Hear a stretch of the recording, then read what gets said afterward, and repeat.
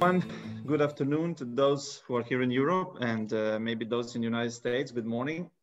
Uh, this is the second day of our uh, symposium called Religious Philosophy Between Humanism and uh, Post-Humanism. Uh, we have already had one day of proceedings yesterday and we are continuing uh, with, with the second batch of talks today. Um, just to say, and maybe to repeat from yesterday, that this symposium is organized uh, jointly by um, Institute for Philosophical Studies of Science and Research Center in Koper, Slovenia, and the Faculty of uh, Theology and Religious Studies of University of Groningen in the Netherlands. And it is a part of a project, uh, Creatures, Humans, Robots, which is uh, centered at, at the Institute of Philosophical Studies. Uh, today, we will start our proceedings uh, with, uh, uh with the contribution uh, from Todd Weir, who is a professor at, at the Faculty of Theology and Religious Studies here in Groningen, my colleague here, uh, who is also an historian of ideas, intellectual historian. So yesterday we had Carool Kersten from this sort of discipline or sub-discipline, and uh, and uh, uh today we have you, Todd. Uh, talk is entitled Monism plus Technological Advance is Transhuman Consciousness, a modern fantasy from Wilhelm Ostwald to Elon Musk. Please. Thank you. Um, thank you, Gorazd, for the invitation. I will try to look at the camera rather than the screen. Uh, anyway, thank you for the invitation. It's it's uh, it's fun to be in a, in a philosophical circle. Um, I like to work in, in an interdisciplinary fashion, uh, and especially with this topic that I'll talk about today, I think it's it's uh, a good one for inter inter um, disciplinary work. Um, so I'll just start off. You know, I, I think it's interesting with the phenomenon of transhumanism that uh, it, it's, it's, it seems to always be produced by uh, technological advance and by certain fantasies uh, that are derived in the field of science. Um, and um, of course, as a historian, I have to say that's just not new. So that's my intervention. This is not new. The thing that is so connected to the new and to the future is in fact not new at all. Uh, so I was inspired by, by Leonard uh, uh, talk yesterday, where he, he was um, investigating this uh, phenomenon of the future as something that reaches into the present, maybe as a kind of divine force, uh, the future reaching into the present. And um, so I think that this question of futuricity is really crucial to understanding the appeal of uh, transhumanism.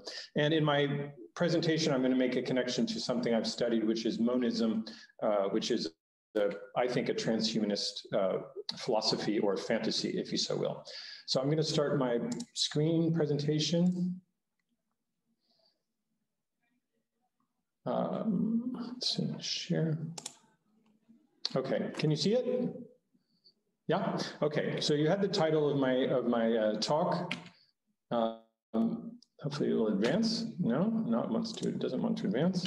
Okay, so uh, what better place to start than with Elon Musk, right? I mean, if you think about uh, the philosopher king of Plato, I mean, today we have a philosopher billionaire uh, who's, uh, uh, I, I, think, probably the most interesting of the new class of, of uh, multi-billionaires. he, he presents his entire work of enriching himself uh, as really a, I think, a, um, a, utopian vision of the future. And I was listening to an interview uh, with, with Musk, um, and uh, I was just amazed at, at his kind of uh, uh, ability to make himself the, the center of human history at the present. Um, and uh, and I think there are elements of his kind of vision that match onto things I've looked at 100 years for 100 years ago, and I think uh, relate to our topic of transhumanism. So um, Musk presents a, a history, a, a, present situation of the world where essentially we're trapped between ignorance and entropy, um, uh, the, these forces that are threatening to destroy um, the planet. So he, he sets out a number of disaster scenarios. Uh, there's a human disaster, climate change, um, or war, or the, uh, the AI taking over uh, and killing off the humans. Um, he talks about planetary disaster, uh, you know, the heat death of the planet. There's disaster, the, the, the cold death of the universe. Um, so all of these things in the future threaten to destroy everything. And what is required to save uh, humanity and the world is Elon Musk uh, and his work. So on the one hand, we have uh, space exploration. Um, it's necessary to transport the human species to other planets. Um, the whole quest for uh, changing the nature of the energy economy to electricity. Uh, and he's even interested in consciousness. He has a project uh, where they in, they're inserting brain implants to increase our connectivity with the global uh, yeah, with the global internet, with global information. Uh, what's interesting about all of Musk's uh, projects is that the, the crucial element is time. Um, he believes that he is going to accelerate history uh, through his companies, and that there's a race between the forces of entropy on the one hand, and uh, uh, well, yeah, there's a race against these forces, and essentially his acceleration of time and of development through his technological innovations can save the world. And out of this emerges his curious, uh, um, uh, fierce opposition to uh, the lockdowns over COVID. And I was thinking about why he's so animated and about the fact that he should not be hemmed in by COVID lockdowns. And I think that what it comes down to ultimately is that he thinks that his race to accelerate history uh, is worth the couple hundred thousand dead uh, in the United States. Uh, it's really a means end uh, decision, and uh, his work is much more important than the lives of those old people. Um, I, I, think that that's what it uh, came down to. And the other thing in listening to, to uh, Musk is that I was I was uh, it's he sounded like somebody who was depressed, a little bit bipolar um, element to the way he he uh, you know these kind of grandiose dreams and then the threat all the time of of uh, something intervening and his really uh, he wanted to end the interview as soon as the woman brought up COVID. Um, so I thought that was really interesting. So you know that. That's uh, to me, uh, um, uh, you know, Musk is this kind of quintessential figure of the present, um, portrays himself as somebody who's already in the future. Uh, but it's not new to the extent that there have been other Musks in the past. And one of the most interesting is Wilhelm Ostwald. And he was a, a Nobel Prize winner in physical chemistry, German from, uh, from Eastern Europe, from, uh, from Riga. Um, and he was also fighting entropy uh, with his innovations. He came up with a theory that he called energetics, energetic.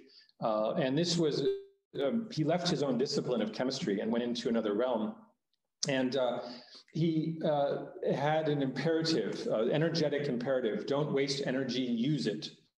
Um, and effectively, he, he thought that there was, to, you had to, you had to fight the tendency towards um, entropy by making more efficient use of the energy that's present. Um, and so there were th there were these threats in the future: war on the human scale, uh, planetary death on the on the um, on the scale of you know global energy, and uh, to sort of stave off these bad outcomes, uh, it required the intervention of technological um, giants uh, and scientific advance like, like himself. Um, and there's different elements to his energetics. One of them is that he had a, a unity of science project. So he believed that uh, one could think of orders of energy existing also in the different realms of the sciences. And here's his sort of pyramid of uh, the sciences. And at the top is a, a, a, new discipline he called culturology.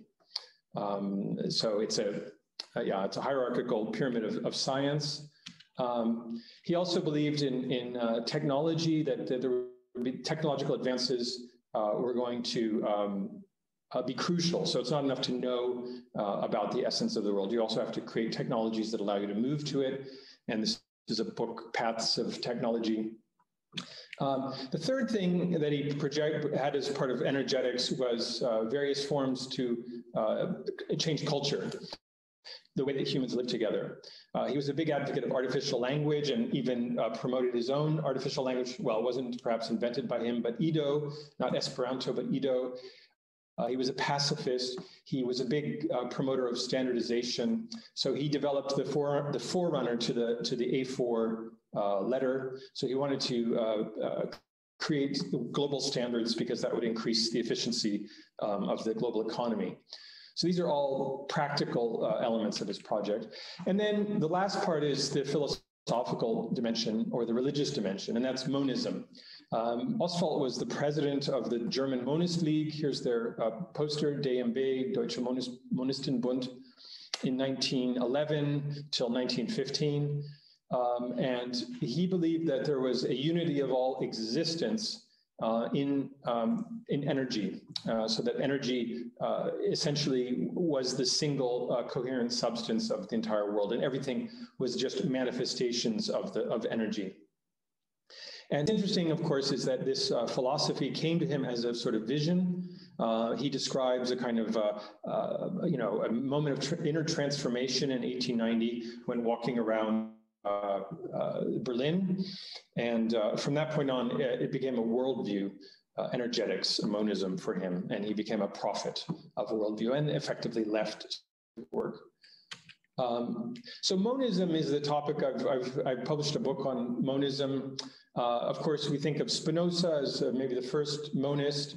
Uh, what's interesting, though, in terms of the connection to science and technology, is that there's a moment of transformation in the middle of the 19th century because there had been many monist systems. You can even call Hegel a type of idealistic monism.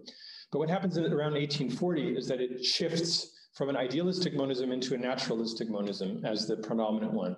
And interestingly, it's, it's Ludwig Feuerbach, we were already speaking about yesterday. Uh, uh, Feuerbach uh, has two children, let's say. One of them is a kind of humanism, a Marxian humanism. And on the other side, there's naturalistic monism. Uh, they both draw inspiration from um, Feuerbach, and Feuerbach, of course, writes about nature and about uh, humanity in different ways.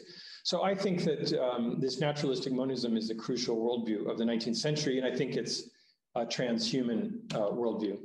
So what uh, what indicates this shift? It's really changes in the natural sciences and the way the natural sciences operate in the public sphere. So we have, for instance, Cosmos of 1848 from Alexander von Humboldt. It, what Cosmos promises is, is a complete reduction of all natural science into a single volume. And the aim, he says, is worldview. Uh, so it's not uh, it's not sort of minuscule scientific work. It's not an encyclopedia, but it's a condensation into a certain a single system that is also presented in a kind of aesthetic fashion. Um, that's uh, Humboldt. Uh, but Humboldt wasn't a, um, a, materialist in the sense of others. So we also have a, a physiological reductionism uh, in the 1840s in, in, uh, in Germany. And there's the, the, the, idea of the conservation of energy is very important. The universe becomes finite and uh, its, its contents become fixed. And there's a religious leader, you know, not important, Karl Schrader, Schrader in uh, 1850, who wrote, um, the infinite universe comprises everything that is, there is nothing beyond it, nothing can disappear from it, nor can even the smallest new thing come into it. It is the necessarily existent, the always there, always remaining, never subsiding or increasing, the infinite all in all. Um, so with um, this move into naturalistic monism, the idea of a kind of unified, naturally scientific explained cosmos is crucial. Um, by the way, uh, Gorazd, when, give me five minutes, whenever I need to end in five minutes, tell me, okay? Um, okay. We have materialism in the 1850s, which if you look at materialism, it's actually monism. Um, and, and Büchner later says uh, that he, his system is really monist, not materialist. Uh, what is the difference? Um, materialism uh, that includes thought and energy in the definition of material is monism. And that's the way that even in the title, Kraft und Stoff, energy, force and matter, it already implies a kind of overcoming of dualism. Um, and a nice, a nice summary uh, is from Max Nordau, who was a physician and a kind of cultural critic, and he defines monism as, as his the new worldview. We consider the cosmos a mass of matter, which has the attribute of movement, essentially unitary. It reaches our perception in the form of various energies. That is our worldview. It penetrates us with the air that we breathe. It has become impossible to close oneself off to it. Uh, so this is is a, the uh, definition, a succinct definition of naturalistic worldview, monism. And the, the crucial figure uh, is Ernst Haeckel, who's a biologist, who's known as the German Darwin, and he uh, here's a picture of Ostwald and uh, Haeckel together uh, um, attacking a Protestant church uh, in, uh, in a cartoon from the 1850s. Uh, Haeckel was really uh, particularly, um, well, like, like Ostwald, very concerned with being against the church, anti-clerical, and presenting monism as, as the new worldview. And here he was also known as the German Darwin because of his advocacy of evolution. And here he is presenting a present to Darwin on his 100th birthday, which is a halo. Um, so, of course, ironic. Um, Haeckel uh, really embraced the notion of the consciousness of matter, is known as hylozoism. And he summarized this in his last big publication, which was called Crystal Souls Studies of Inorganic Life.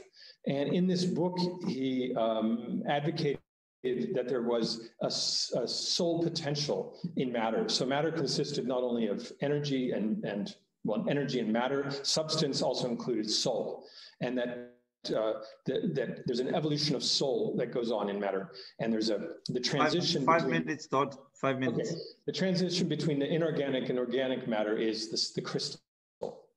So there's a striving of matter for uh, higher levels, and the substance then develops through um, from matter up through culture. Um, so where is this monism? It, it is present in worldview. It, the future is a kind of idea of a transhuman consciousness. And the way to get there is uh, uh, through various steps. So the first step is to solve the so-called world riddles. And the world riddles were um, uh, presented by Emil du Bois-Reymond, who said mechanistic science has limits, and it cannot go beyond certain riddles, such as the origin of consciousness, the origin of life, the origin of matter. Haeckel said, no, no, no, of course we can do it. Monist worldview provides the blueprint and science will deliver the answers. Uh, opposed, of course, by Stephen Jay Gould more recently. Um, but the, uh, the, the, solving of the world riddles uh, was undertaken by some of Haeckel's followers, uh, such as Paul Kammerer, who was famous for uh, uh, falsifying his evidence in order to prove the theory of the inheritance of acquired characteristics. Uh, 1922, uh, he was, well, I think around 25, he was found out and committed suicide. Very sad story. Uh, but, but there's other um, steps that are needed to bring, go from this worldview, which is the promise of the future, to the transhuman future. And that is solving these scientific problems, creating a unified scientific understanding of everything, technological advances, social reform, and unrelenting war on religion. Um, and so here are some conclusions uh, that I thought are interesting. I think that this transhuman vision, which monism is, um, it really it presents itself as something that is being driven by progress. Um, but in fact, it could really be approached from any angle. Uh, you can start with the vision, a religious vision, and move towards technological advance. Um, of course, technological advances also may trigger fantasies uh, of this nature. Um, relating also to the talk of yesterday, time is absolutely crucial. Uh, science doesn't deliver, science doesn't just deliver the transhuman, it also achieves an acceleration to the vision. Uh, this sense of accelerated motion does two things. It promises to exceed the natural course of history, which produces progress, but also produces entropy. It provides the select few who are in the avant-garde space of technological philosophical advance, the exhilaration of being time travelers and heroes. So in other words, um, uh, this science, um, if you take Musk, for example, it's really crucial, I think, for the vision that you have somebody who is moving ahead of the, the time, who is himself a kind of avatar of the future in his technological work. And uh, the, the, this, this fantasy uh, resides in a, a, select few who are these kind of time travelers. we had the image yesterday of the, of the Mormon church as a kind of time machine. Um, there's something of the there's a despair op optimism that's inherent in this vision. Um, the optimism comes from the conviction that nature produces transhuman consciousness. Okay, nature tends to progress, tends towards these higher and higher levels of consciousness.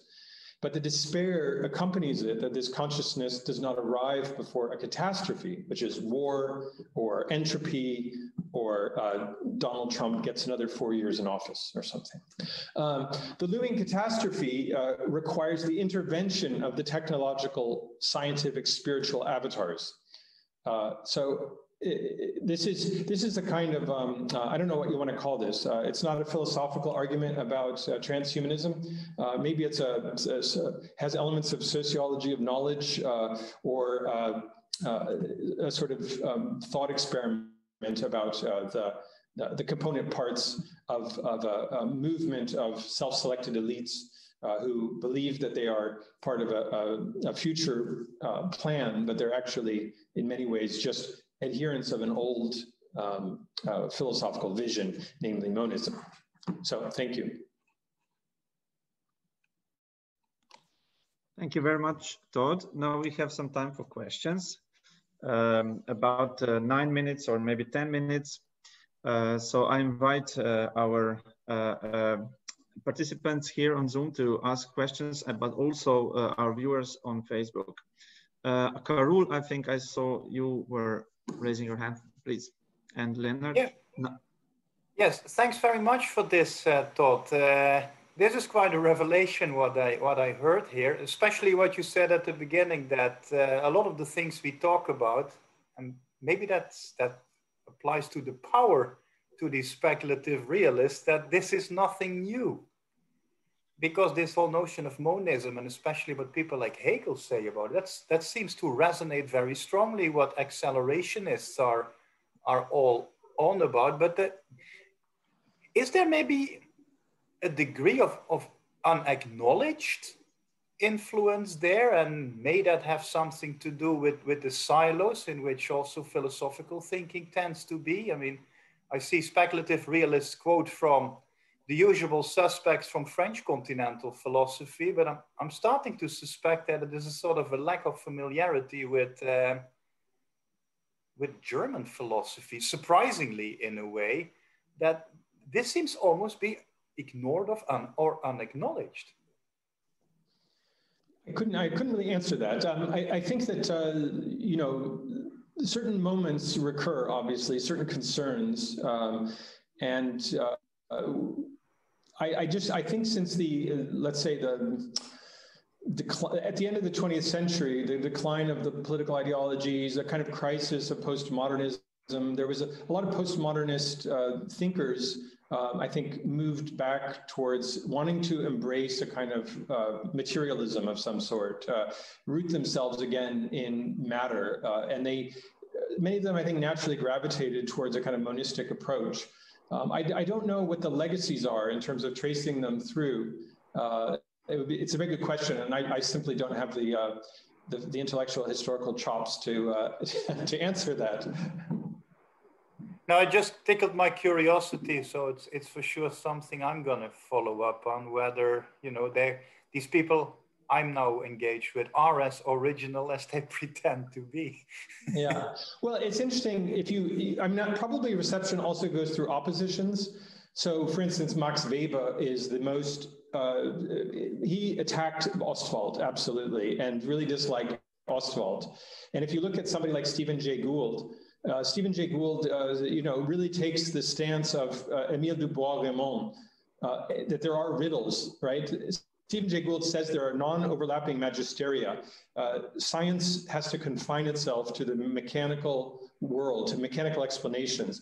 And if it tries to move beyond it to say explain uh, the origin of consciousness or religious matters, uh, it will it will inflate itself too much and it will explode or it will lose credibility. Uh, so I would think that if you looked at some of these controversies already from the 19th century, like between Haeckel and du Bois-Reymond, you find Stephen Jay Gould fighting against the monists of his day.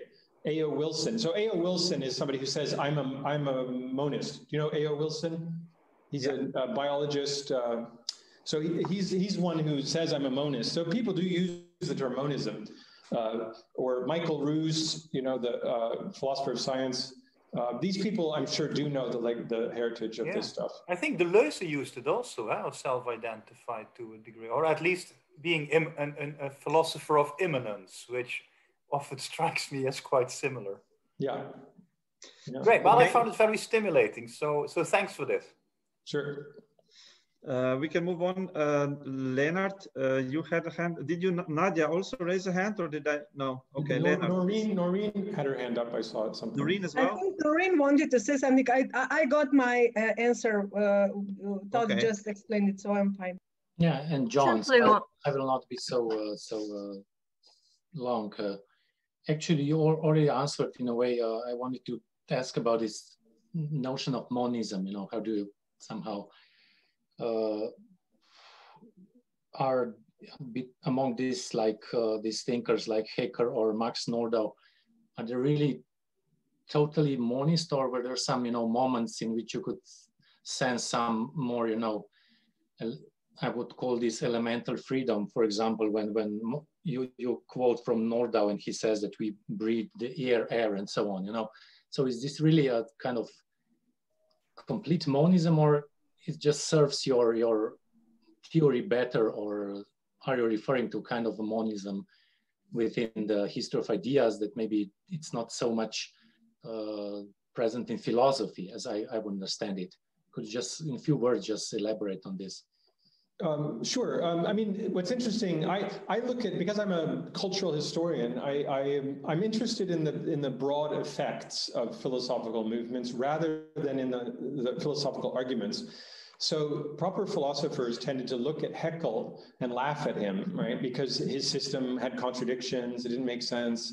Uh, and probably the same could be said of Nordau. These are not recognized as you know, important philosophers, uh, but they had a big social impact uh, and a big impact in science.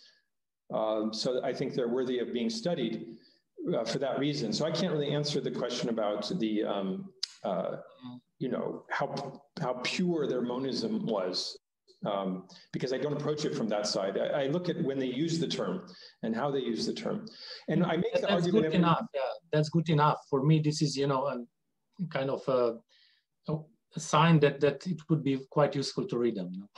And and I read them, I read them from the point of view of worldview. So my theory of worldview is that worldview is precisely the space between science, philosophy, and religion that is laughed at by all of the disciplines. Uh, so worldview is always criticized from any perspective, theology, uh, uh, history of science or scientific philosophy or proper, you know, uh, uh, whatever, uh, other, other philosophical traditions. Um, nonetheless, in, in the sort of operative space of, of cultural history, it's an absolutely central concept. And it really helps us understand the impact of something like monism, just as if, if you look at Elon Musk's, the implica- philosophical implications of what Elon Musk is doing, poss- possibly one could laugh at his ideas philosophically, but he's, he strikes me as very uh, uh, probably really worthy of study uh, for, uh, for this project. Okay, thanks. Thank you. Uh, thank you. So can I uh, go to Noreen now? Uh, Noreen, you have also had hand raised and maybe John? Yeah, in fact, uh, Todd just John. ended up where Todd just ended up where I wanted to go, which was to say that, you know, as a computer scientist and someone who spends time in technological circles, um, and this is sort of an answer to Carool, philosophy is laughed at. I mean, there there really is a strong feeling that um, that this is passe. Um, I know when I started moving into religion and science, that uh, central area that Todd was just saying is laughed at. I, I had colleagues who said, "Well, you cease to be a serious thinker." And I think we also see this in America right now, in that there's a serious defunding of humanities departments, particularly philosophy departments. Many universities are closing their philosophy departments, and all the money is going into what we call the STEM fields science, technology, and mathematics. Uh, I also think among technologists and computer scientists, there's a very strong feeling that they want to be able to say what we are doing is new. And so to do what Todd just did and say this is not new goes precisely against um, what is the zeitgeist among uh, technologists right now. Thanks. So I think you're right, Todd. I'm not, you know, I'm, I think you're right. Yeah, no, interesting. Okay. Uh, it's Uh, interesting if you look at uh, Ostwald himself. Uh, uh, he left his his field. He got a Nobel Prize in physical chemistry. But effectively, when he when he came out as a as a monist in 1890, uh, his colleagues stopped taking him seriously, and he had to move into other realms to engage in his philosophical ideas, which was uh, really he became a public intellectual, a, a kind of prophet of worldview, uh, and he became president of this association of monists. Um, yeah, so uh, it's interesting that the, the kind of worldview position also replicates itself in the in the in the career uh, choices of monists. Uh, so they end up precisely in that space between the disciplines. Okay, I think uh, if we do we have another question here, very brief one. Uh, if not, we're going to move on. Uh, but uh, but uh, yes, because we also have one comment from Facebook, which I would just like to read. I think it's interesting. Um, so uh, Reza Akbari from Iran, he he wrote the concept of monism in this sense is very interesting for me as a person who knows Islamic philosophy. Many Muslim philosophers are somehow in this school talking about existence as the one and only one reality. Con consequently, they say everything has consciousness uh, including sand, leaf, water. It seems the difference is that they put monism in a different framework using, for example, energy or existence. Uh, so an observation, whether you want to comment it or not, but uh, this is an interesting observation from Islamic philosophy point of view. Yeah, no, I, I don't think I have uh, any specific comment. I mean, it's, it is interesting. The monists, of course, are interested in other world religions uh, as having a, an affinity to, to monist thought. Um, if you look uh, at, or in the 20th century, um, uh, uh, what's his name, Aldous Huxley and Christopher Isherwood, who are the kind of English people who really create the new age in California, uh, the, the, the philosophical underpinnings. Um, they published a book called Vedanta for the Western Age, and um, and I think that uh, Aldous Huxley says that Vedanta is monism, that's fully compatible with Western science and spirituality. Uh, so there's an example of some monists, European monists, um, using another religion um, to try to uh, argue for ancient roots to monist philosophy. Mm-hmm, yeah. mm-hmm, mm-hmm, mm-hmm. That's right. Uh, okay, Todd, I want to thank you very much. Uh, it was Thanks. a very interesting contribution.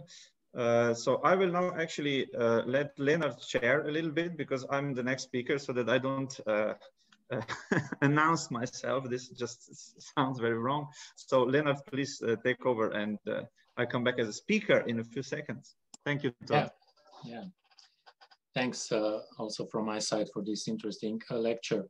So we are now at our lecture from our colleague Gorazd Andrejč, assistant professor at University of Groningen, and as well as researcher at our institute in Koper. And I'm really, you know, glad to to to be able to announce him now. His paper is uh, titled "Can Humanism Be Reformed? A Wittgensteinian Response to Posthumanism." So it is quite uh, in line with his, you know, um, thinking in philosophy of religion, with Wittgensteinian thinking, and so on and so on. So please, Gorazd, your 20 minutes. Thank you very much.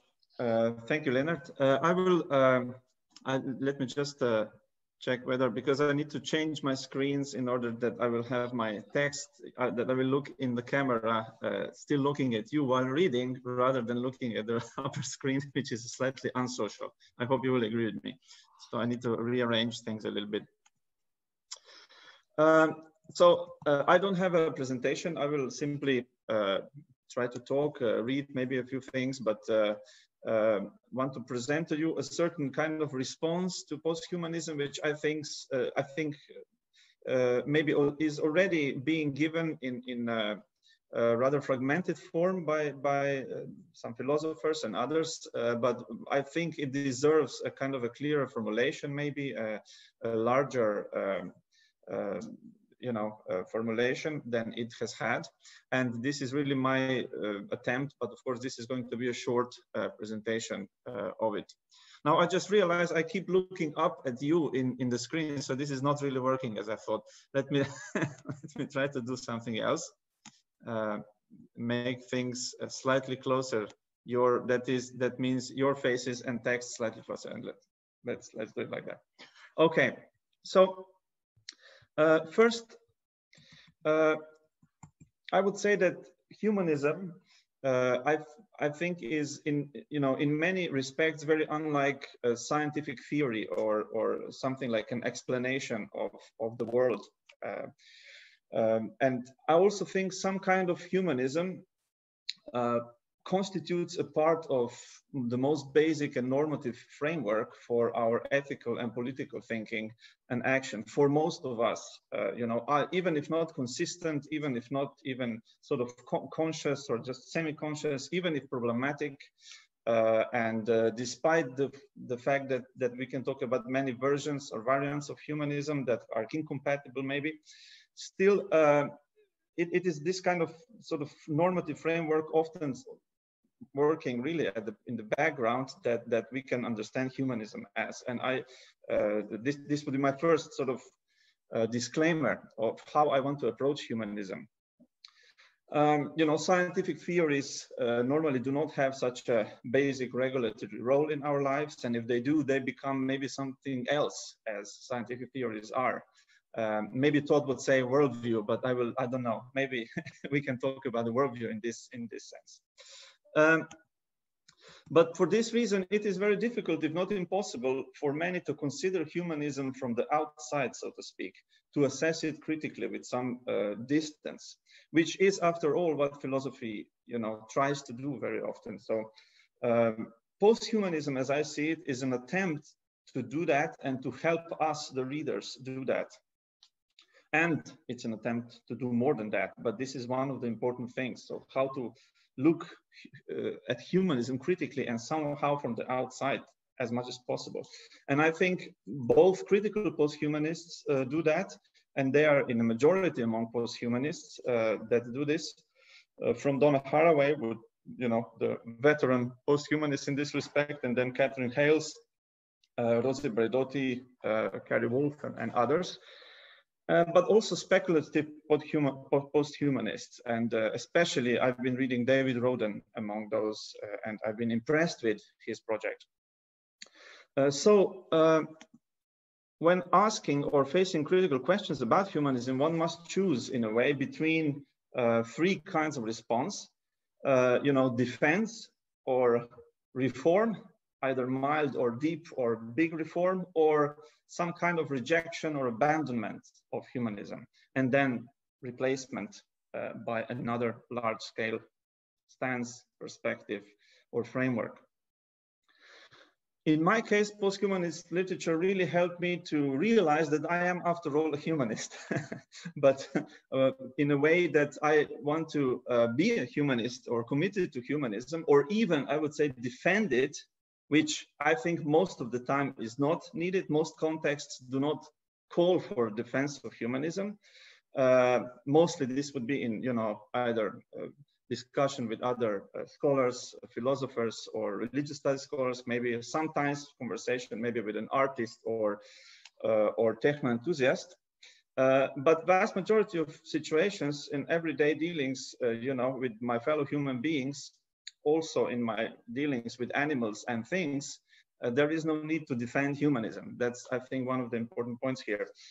Um, but as the title suggests, uh, I think Wittgenstein's philosophy do does give a good idea of, for a formulation of humanism uh, when it is being reflected upon in, in this kind of context that, that, that I've mentioned. Uh, of course, not only Wittgenstein, I mean, uh, there are plenty of other philosophical sort of material here that can be used, and I also am in, informed with. Um, and in this short time, there is going to be very little actually that I will say uh, that, that can be included. Uh, so I will start with, uh, with uh, a few critical points that post-humanists make. Uh, I will only focus on critical post-humanism um, and then and then proceed to, to formulations of humanism that I think makes sense. Uh, so Katherine Hayles, in, in her book, How We Become Became Post-Human, uh, claims many things. And one of the things, one of the points she makes is that the category of human is sort of historically, uh, historically specific construction, she writes.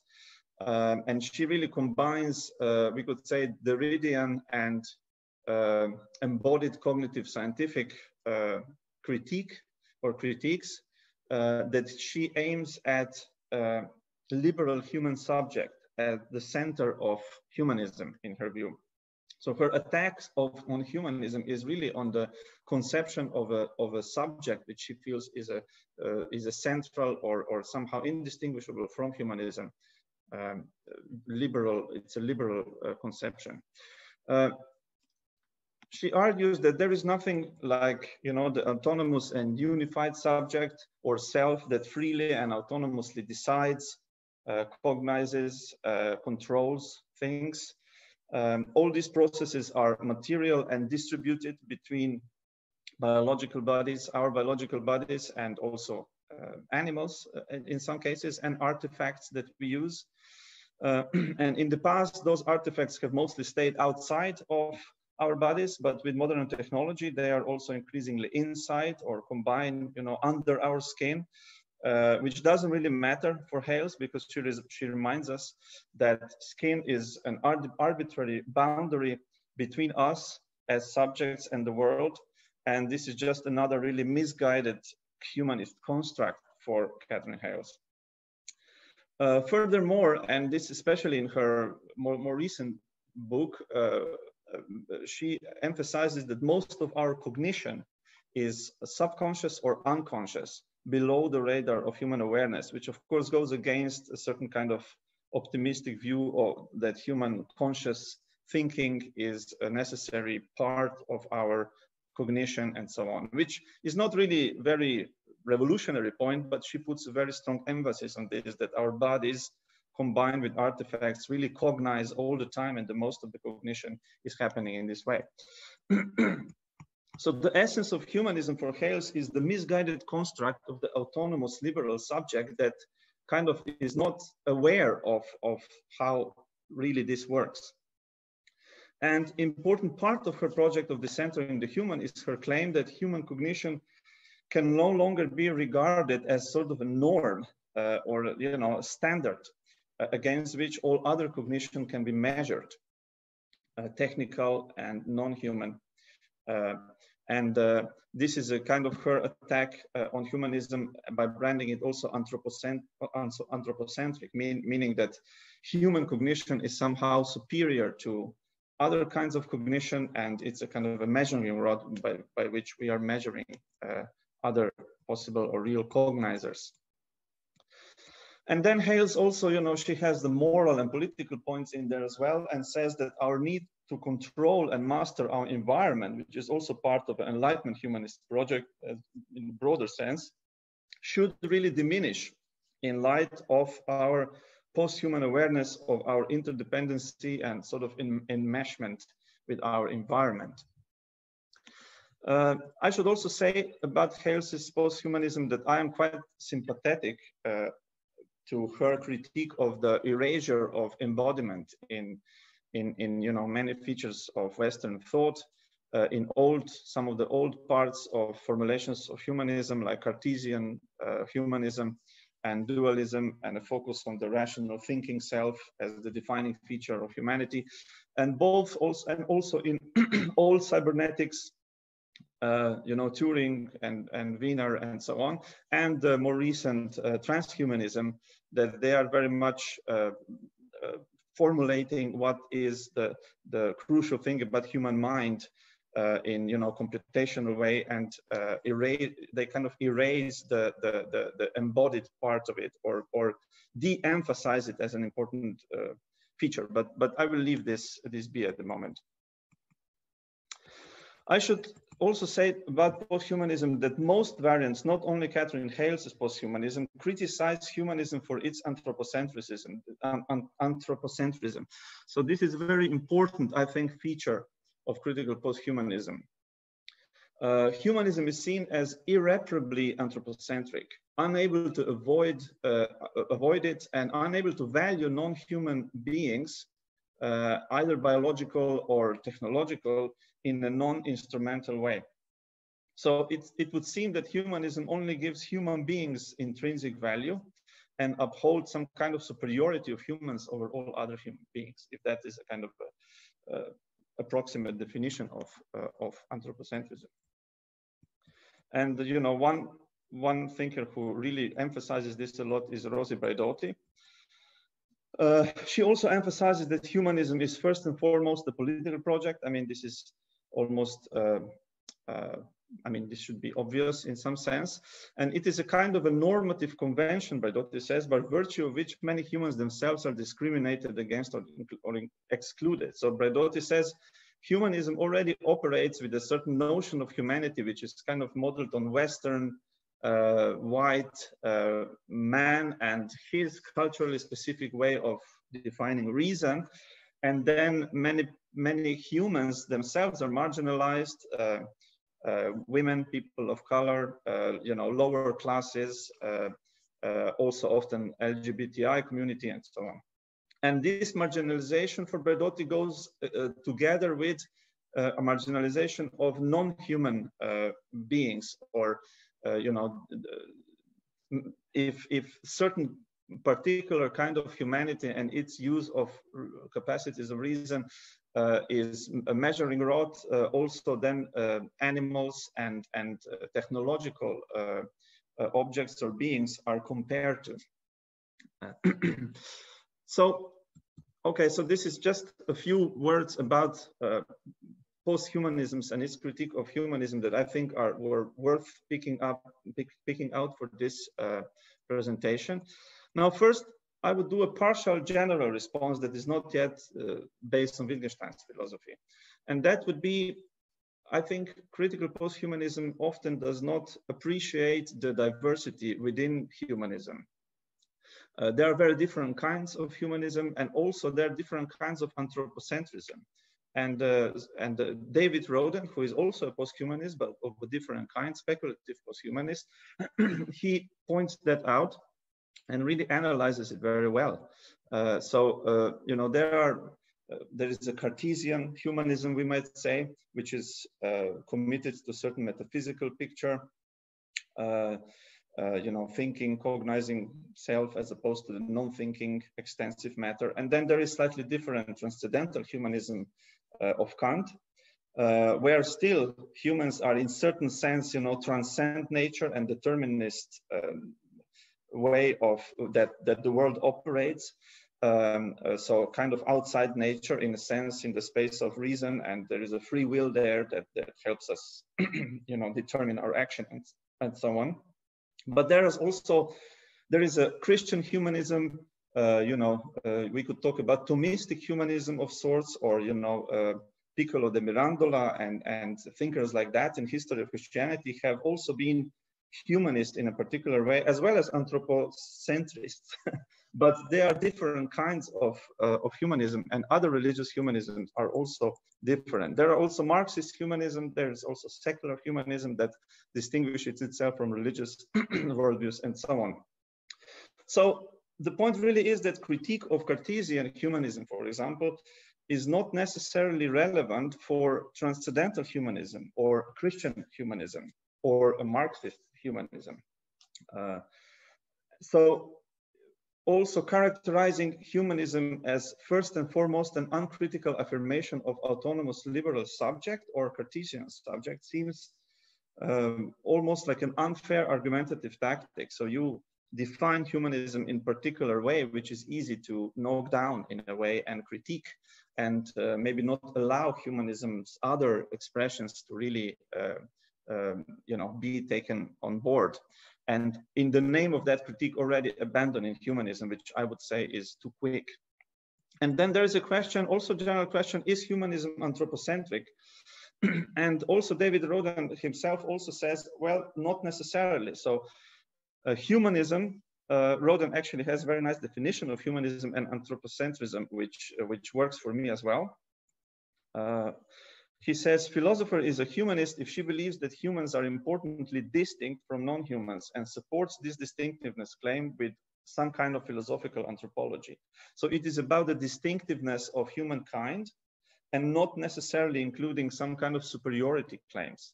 Whereas next, humanist philosophy is anthropocentric if it accords humans a superlative status, you know, some kind of superiority that all or most non-humans lack.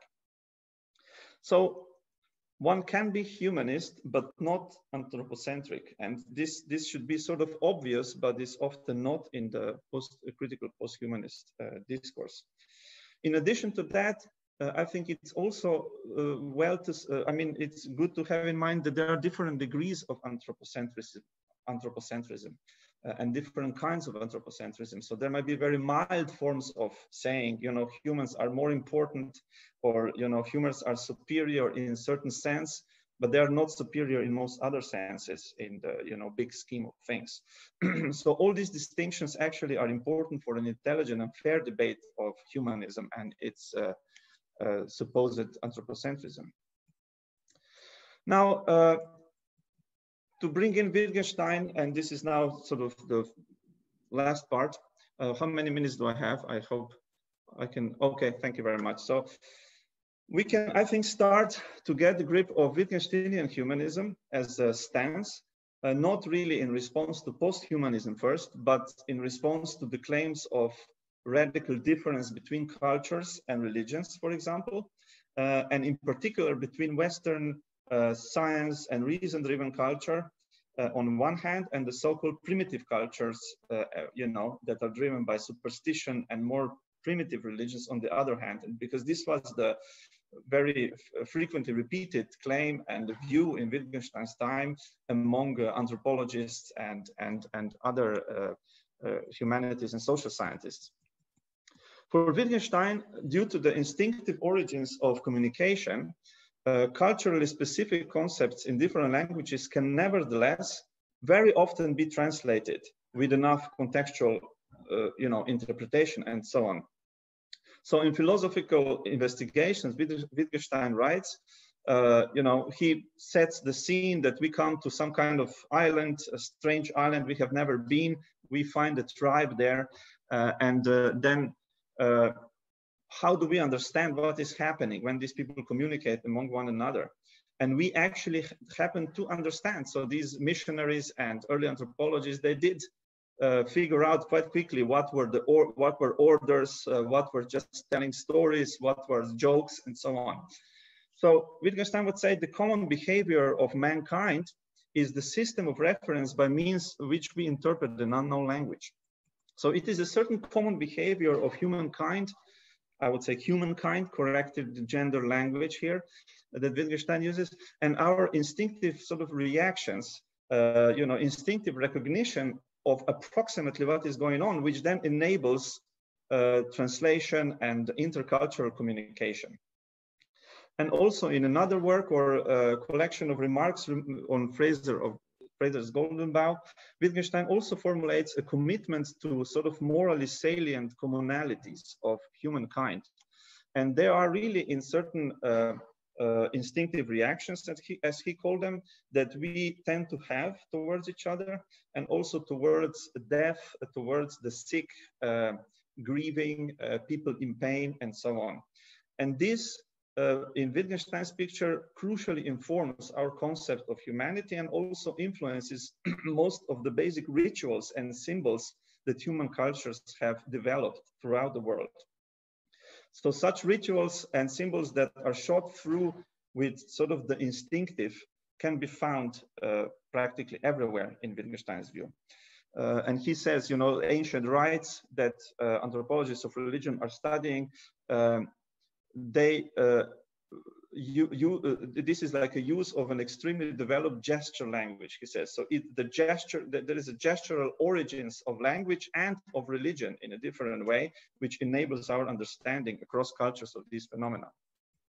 So this is a kind of a common spirit of humankind that Wittgenstein says. We could we could call this a kind of a bottom up humanism so to speak not uh, we define a sort of a universal reason and go sort of top down, or we define freedom as a defining feature and then go kind of define it top down. Because on reason, just few words, I would say. So um, Jane Heal has a very good, a very good article in my view, uh, uh, back to the rough ground, Wittgensteinian reflections on rationality and reason, where he says, well, the concept of reason should be in Wittgenstein understood with a small r, and he does not have much to say about reason in general and this is for good reasons. um, so uh, it would be, you know, reason comes out of reason-given practices of communicating, uh, communicative practices of persuading each other. And that's also a kind of a bottom-up notion of reason that comes out from human uh, communication and our reactions to one another and our social life and so on. And then finally, maybe I would say, so philosopher Raymond Gaita, Australian philosopher, in his book, Common Humanity, develops a sort of Wittgensteinian humanism in which the human suffering or mutually recognizable life of emotions and felt responses, typical felt, you know, range of responses to one another, uh, play the role of what makes us human in, in, in Gaita's view. And I think what is then important to add here is that this is not a human beings are biological Homo sapiens. Rather, uh, although sort of, you know, our bodily predispositions and uh, characteristics, of course, crucially influence how we um, experience one another and what we would call also sort of a species recognition. Uh, in philosophy, some people would call it like that. The body has a lot to do with it, but there is no there is no necessary relations that it has to be completely biological body like human body is. Rather, I say would we would uh, we would uh, try to assess or try to kind of the responses if there would be a technological or technological or uh, you know radically augmented uh, being uh, like a post-human of certain kind it would be from these reactions whether we could regard such a being as part of our community of humans or part of a moral community more broadly. So, uh, yeah, I, I realize over. Yeah. I, I realize the time is over, so I'm now uh, bringing this to, to, to a conclusion.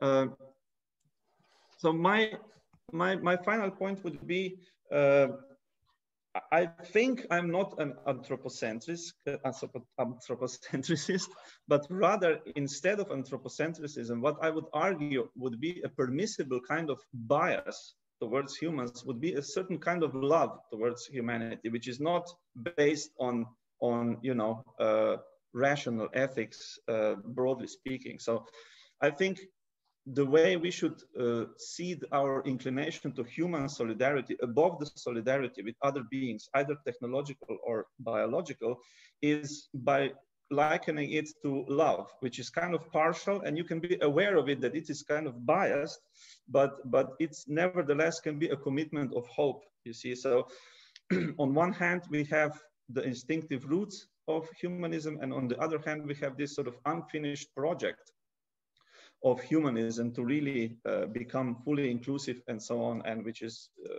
then could be linked with uh, such kind of biased love. Sorry, so this is it. I have to, I had to bring it uh, to a close rather briefly now at the end. Thank you. Thank you uh, for your lecture. Now we have uh, some time for questions. Who would like to begin? Noreen? Konstantin Gašper. Okay, Noreen. Yeah, I was interested, uh, Gorazd, that most of the post-humanists that you quoted, particularly at the beginning of your talk, were women. And yeah. that their critique of humanism was that it was anthropocentric and had a tendency to instrumentalize nature. And yet, the post humanists that I encounter as someone in artificial intelligence are men. And their view tends, I think, to be even more marginalizing than humanism in the sense that they take, I think, what I think of as a very masculine view of reason and a very instrumentalizing view, not just of nature, but even of human beings themselves. And so instead of the broadening out that I think you were seeing among female post-humanists, I see an even further narrowing in to a very masculine view of reason and a very instrumentalist stance. You know, for example, you see this in Kurzweil, in Musk, you know, um, Bostrom, all of these. Um, so I'm wondering if you if we ha- are not seeing here uh, a very two very different post-humanisms, one coming from women yeah. writers and one coming from ma- male writers. Yeah, I mean, it is interesting that most transhumanists are men and most critical posthumanists are women. Um, and you know critical posthumanism has this connection with feminist thought which is a kind of a strong connection with the feminist critique of society and so on. Uh, so it is a, almost you know it's a kind of a natural contingency that most critical posthumanists are women. And uh, I can't really comment on on the fact that most transhumanists are men. I haven't almost have I even mentioned I haven't even mentioned transhumanists here because I think they're not my main concern. I also agree with uh, the posthumanist critique of transhumanism for the most part. I mean, the maybe I'm not that uh, negative about seeing, you know, human being as a uh, as an information processing system and you know with the feedback loop and so on it it, it can, we can be seen like that. So it is possible to to see hum, human uh, brain as a big computer but it is not only that. And i think the problem becomes when we say this is what is most important about humanity or this is even distinctive about humanity but transhumanists are not really saying that. They are saying machines can do that as well. Uh, you know, therefore we can think about uh, migration of, of, of, of consciousness to other, to other materials uh, that are not biological and so on.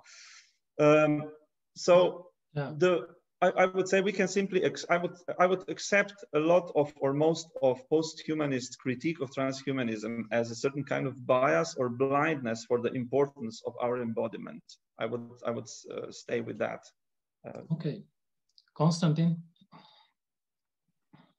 Thank you, thank you so much for this talk. And there's a number of things I wanted to ask, but I'll just ask one. And following on from Noreen's point, which I think is is really insightful. So, so it, it, I, I, think it seems right that uh, most of the the men writing on this are far more impressed by AI than than by animals, whereas most of the yeah. women writing about this are far more impressed by animals than by humans, um, let alone um, AI. And and I, I wanted to sort of ask a related question. Uh, in this second realm, Wittgenstein is quite contested grounds um, be, because he's quite ambivalent um, um, in, in, with animals, um, depending on which remarks you read and which translation yeah. of them. And there's a view that so Anscombe, just, despite being a woman, was was very much on the sort of anti-animal side of this debate, and her translation of of Wittgenstein in certain places is is contentious. Yeah. And I don't know if you know the von Savigny article. So so the common behavior of mankind is one of these contentious translations where um, von Savigny thinks it should be something like shared behavior. Um, and whether we call it humankind or mankind is yeah. not here the issue, but shared behavior, where that means that there's not one universal common behavior that all humans, but that there are shared behaviors um, within communities. So when you do your anthropology kind of remarks that you spoke about, or the, you know, we enter the alien planet or whatever, what yeah, we're looking for is not one common behavior, but behavior shared. And I wondered, yeah, on your views on this. Yeah. Yeah, I mean, sec this second point first, uh, of course, common does not mean in 100% uh, shared, right? It is shared to a large degree and also shared in some very unusual difference in how it comes out and plays out and uh, you know conceptual differences are huge and uh, you know ritualistic and other cultural difference i think wittgenstein's philosophy give does not give us license to simplify and think away those differences at all and in this sense it is much more uh, you know, sensitive to difference, this kind of humanism, let's, let's call it still. Um, so yes, it is a shared uh, shared uh, features of humankind and then you can see which ones are you know which ones wittgenstein is impressed by when he reads Frazer and and others right um, and we can be impressed by because it is interesting when we encounter culture we have never encountered and has had maybe you know limited contact at least in the past with our culture and then we see certain you know there is music there is there is ritual there is jokes there is this and that and we are we are kind of you know there we should allow ourselves to be stricken in wonder by these uh, sh shared features. And there's also unshared features but i think on this on the first uh, question animals yes i think yes some of the remarks the lion famous lion remark that you know we wouldn't understand uh, lion even if he spoke right uh, is I think uh, I think they are problem problematic in some sense, or they are you know or they are focusing on on human on distinctiveness of human language with its own structure that it tends to have. It's not the Chomskyan view of language, of course, but it's still uh, it still says, you know, certain kind of structured symbolic communication seems to Wittgenstein to distinguish us from animals, I would say at least in some of the remarks.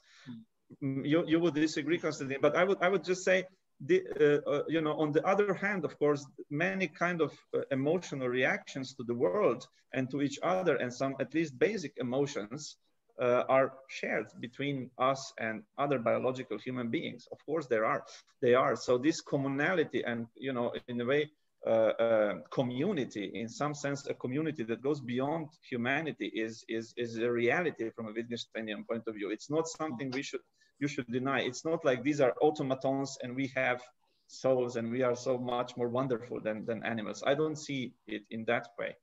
Uh, but I don't know, what would you think about the language uh, or as a distinguishing? So do, do I have time? I don't want to take questions no, away from people. I would like to give a I would like to read one comment from Facebook or question, and then maybe okay. Gašper will decide if he needs to answer his last question. We are already kind of in a coffee break, but we can I know. take two or three minutes, you know. So the question from Facebook is uh, by Javad Taheri, our, uh, our PhD student that we both know with Gorazd very well. He mm -hmm. says, question for Gorazd, what has been argued in cognitive science is that our understanding is basically embodied.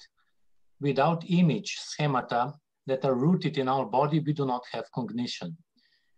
Don't you think that cognitive science um, account is compatible with Wittgensteinian response to posthumanism when he says we cannot go beyond of the binds of language or grammar?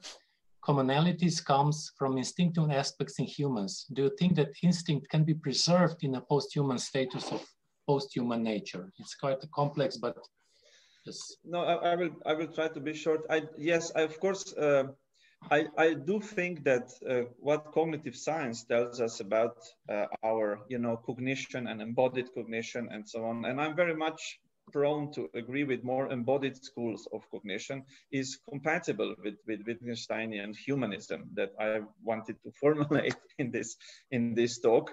Um, but that does not, of course, mean that Wittgenstein was a cognitive scientist. Of course not. So we, as a philosopher uh, that likes both cognitive science and some of the things that we really understand about humanity from uh, from, from this field of science and what we get from Wittgenstein, one has to combine. And there is a lot of uh, potential, and not only potential, people have done this, uh, a lot of possibility to, to combine to combine the two or in, mutually inform these two discourses yeah. between these two discourses.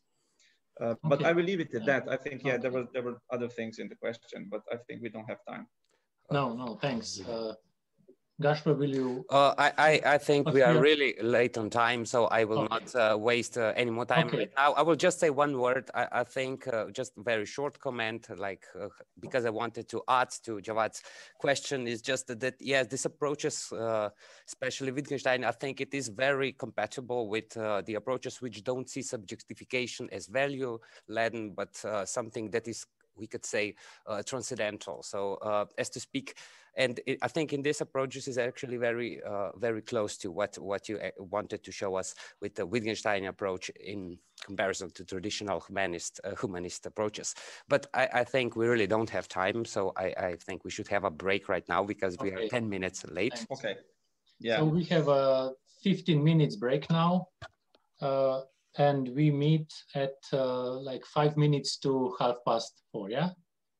Like 15, 25. Yeah, yeah, yeah. if, yeah, if Polona, I hope also agrees, she, uh, Polona this is, uh, is next yeah, speaker. This is a yeah. uh, five minute change to our uh, schedule, yeah. So, yeah? Sure, sure, sure, I agree. Good idea. I just... Um... Uh, we are starting with the, with the next, next lecture. Uh, I hope everybody is ready. Uh, I want to introduce our speaker, uh, Polona Tratnik.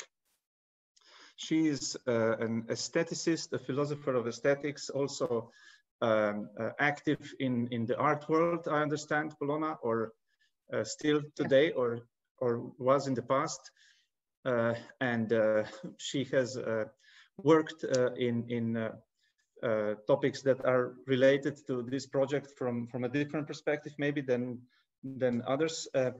Her, I will just uh, announce your talk, Polona. It's called Vampyroteuthic Sublime, and I'm very interested to hear it.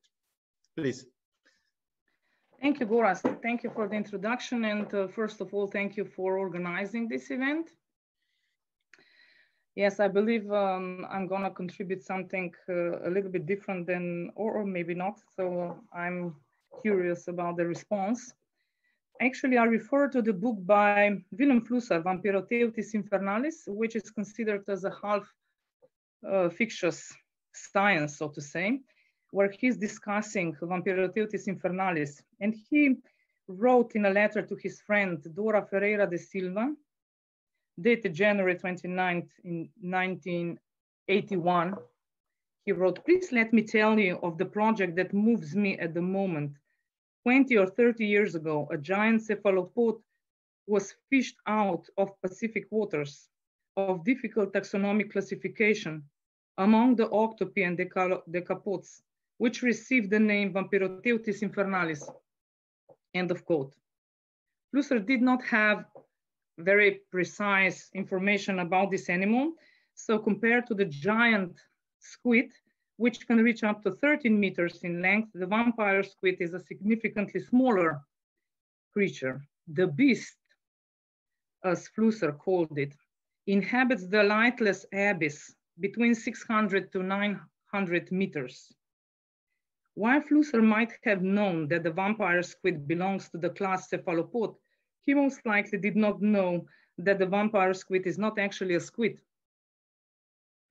Physiognomy is important here. The inner side of the arms and tentacles are of the giant squid are covered with suction cups, while the vampire squid had suckers only on the distal half of the arms. In order to conserve energy when attacked, the vampire squid raises its glow-tipped tentacles above its head as a way to divert the attacker away from its central body areas.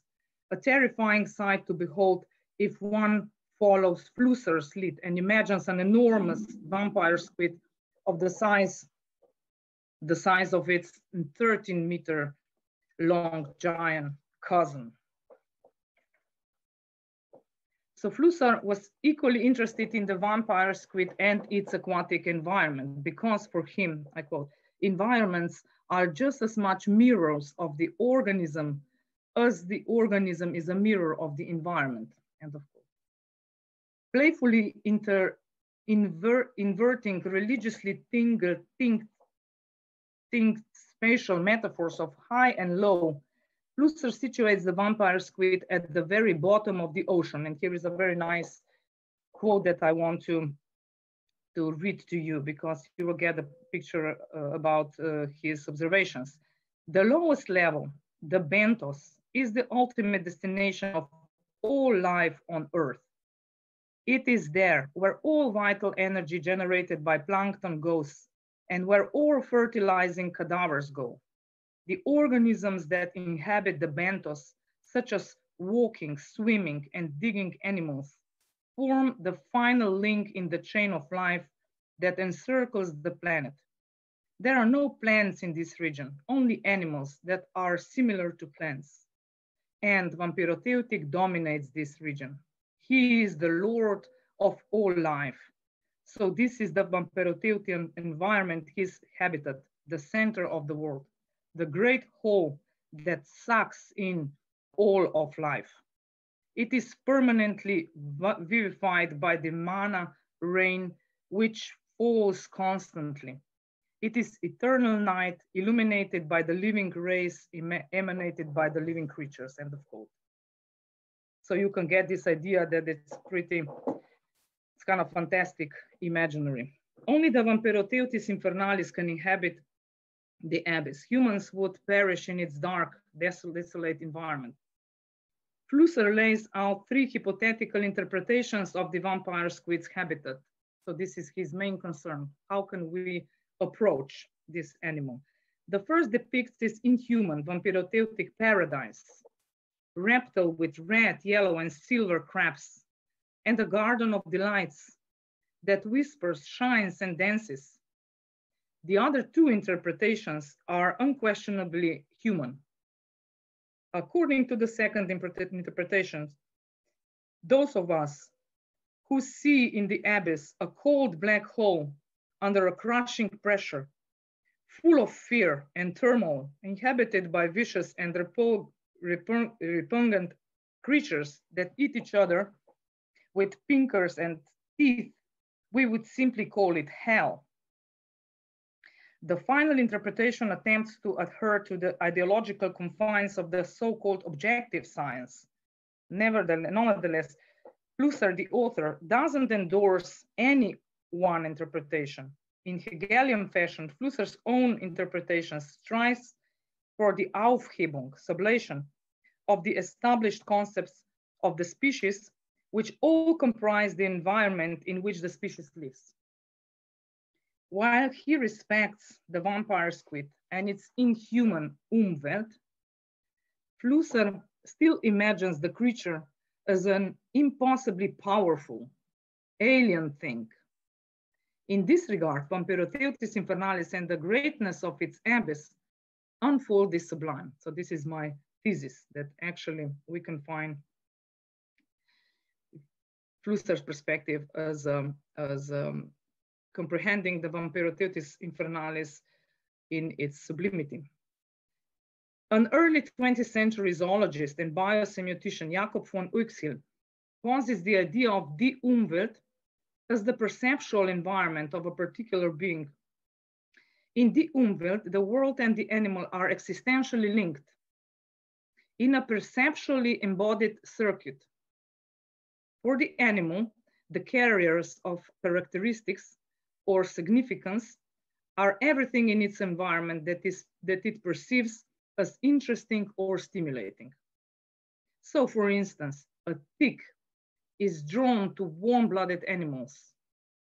An animal has receptive organs that perceive the mark, German Merkorgan, and react to it, Wirkorgan.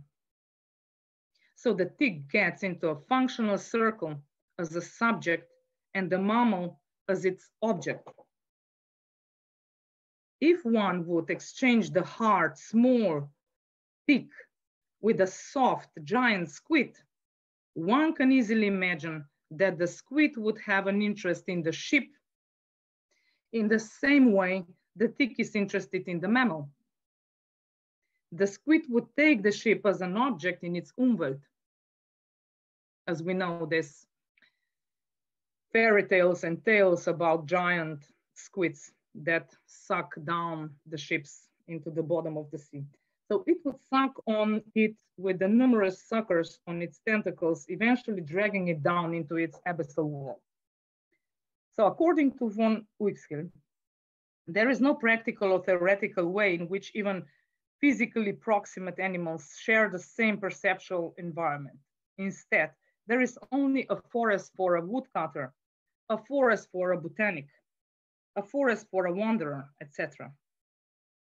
The animals, however, operate within their respective umwelts. The bee, the tick, and the fly that we observe neither move in the same world nor share the same world with us, the observers. So the vampire squid and human don't live in the same habitat. From this perspective, we don't share the same world.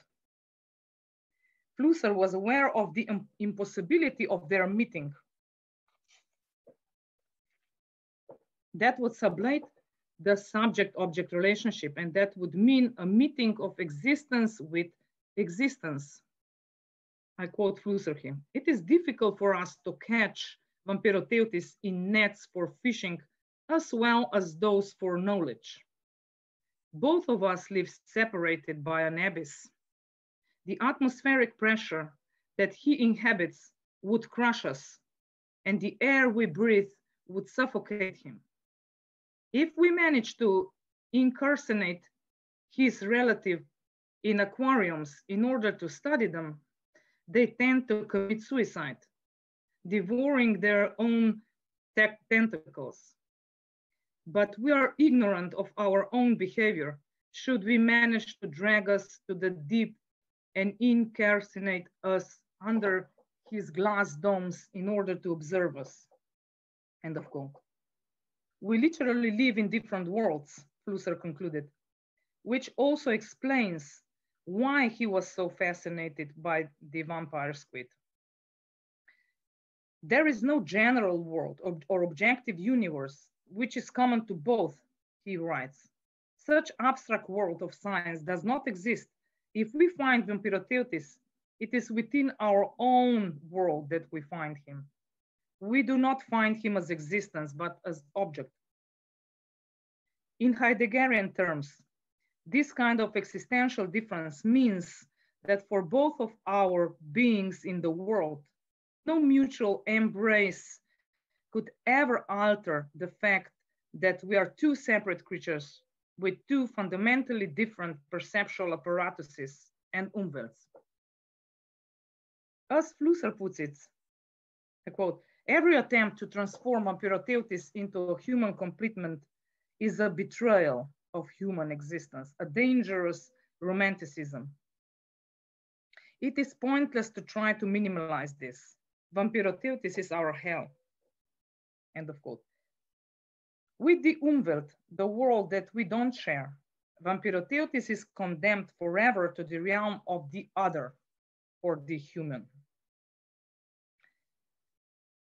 Here we are confronted with the impossibility of these two species meeting in any manner other than in a subject-object relationship, which is a relationship of subordination be it from the human or from the animal's perspective. It is no coincidence that Flusser and Heidegger both drew upon von Uexküll theory, which corresponds so well with that of Kant. Von Uexküll believed that subjects and objects were interconnected in the, the Umwelt, and what makes his theory so novel is that it connects biology with Kant's philosophy by emphasizing the decisive role of the perceiving subject in part because there can be no time and no space without a living subject. For the human then, there can be no other concept of vampyroteuthis than the one conceptualized by the human. So how can the human subject judge vampyroteuthis and its abyss? With the concept of the dynamically sublime, Immanuel Kant reflected upon nature as power. He defined power as a capacity that is superior to great obstacles. It is called force, Gewalt in German, or domination, if it is also able to overcome the resistance of something that itself possesses power.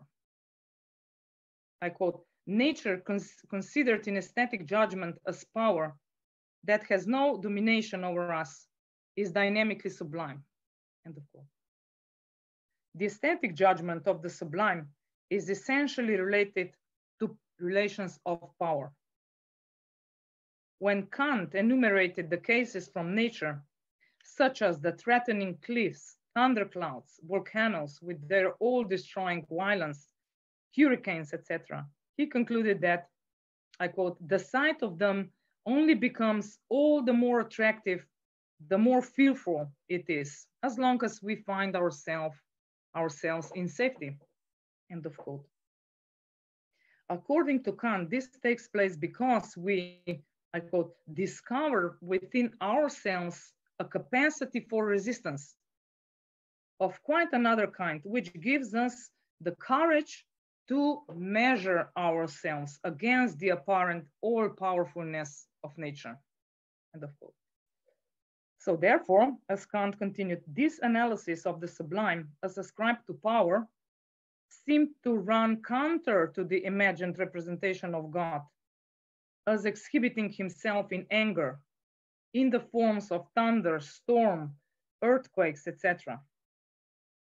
Furthermore, it would seem sacrilegious if we were then to imagine that we had any superiority over the effects of such power. In submitting to religion, generally, it seems that adoration with both had remorseful and anxious gestures and voice are the only appropriate codes of conduct in the presence of God. Therefore, Kant concludes, I quote, sublimity is not contained in anything in nature, but only in our mind, insofar as we can become conscious of being superior to nature within us, and thus also to nature outside us, insofar as it, influences us, quote. So therefore, we can actually connect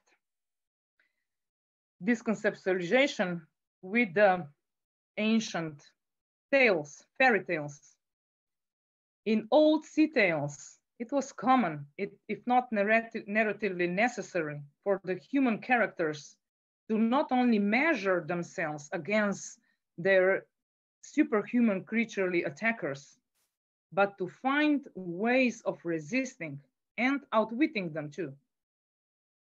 Usually, the battle comes down brains versus brawn, with the brainy humans almost, almost almost always outsmarting the beast. So the production and circulation of these tales were modes of understanding the unknown and horrible dark world, a world perhaps full of beasts and monsters, perhaps not, a way of overcoming in our collective mind the resistance of something that possesses power and a way of establishing man's domination over that something so existentially horrible, which also meant overcoming man's own fears. For Flusser, however, the objective was not to resist or to defeat the squid, the beast, as here in this case, for instance, but to discover it, as he says, discovers it in a manner different from the objective science. In Flusser's word, words, to discover the vampire squid, we first need to get used to the unusual. End of quote. As we stare into the abyss, the alien and terrifying creatures we see, it turns out are just our human projections. Although today, the deep sea squids and their abyss are not the horrible immensity man is to be afraid of, we still have not sublated the gap between the worlds of the species and the impossibility of their meeting. Thank you. Thank you very much, Polona. Very interesting uh, reading that you had for us. Uh, I haven't read Flusser's uh, work, but I looked it up a little bit when uh, you know you sent me the title of your lecture, and uh, it is indeed interesting as a kind of a special kind of encounter between humanity and a species that is very foreign and reflection on that. If I may start with the question, John, I will give you word very quickly. I, will just have one short question. So, Polona, I think the main idea that you present or Flusser presents is this sort of radical otherness that we sort of see in this vampire squid or saw in the vampire squid, which in a way that it's, you know, the kind of a relationship is impossible outside of projection and this kind of horrific thing from hell and so on, objectification in this way. and you know it then performs certain functions for us that is not really its function in some sense. I, I was I want to maybe just ask because it seems science is almost irrelevant here but i think maybe because you know vampire squid is something that we could now watch documentaries about i don't know in the last 10 years and there have been these cameras going down to the, those areas of the ocean that are actually very dark where this vampire squid lives. And then they discovered that it's not uh, you know uh, how to say a predatory being. It's not uh, it's actually harmless for us right? So in some sense to my mind, that would say, aha, science actually an investigation, although it's so objectifying and everything, actually helped us to build a different relationship and different imaginary picture of this being. So it did inform this sort of deeper, you know what I mean, perception where we form a certain affective relationship of it. Would you, mm-hmm. what do you think about that? Would that be against what Flusser says? Because now at the end, actually, you went into this direction. It's not that horrific as we perceive it. I'm sorry, it's not, I don't know whether it's a good True, question. Thank you. Just... Thank you. I think you made a good point. I would just say that um, he, Flusser is engaged in this concept of this radical otherness and he's engaged in that, but his objective is not to repeat that position actually he wants to go over mm. it to, to somehow find something else find another way of approaching something that wouldn't be a way of objective science therefore this mm-hmm. Way of writing and the whole work that he does is kind of um, unique. It's not uh, it's neither science neither uh, literature and so.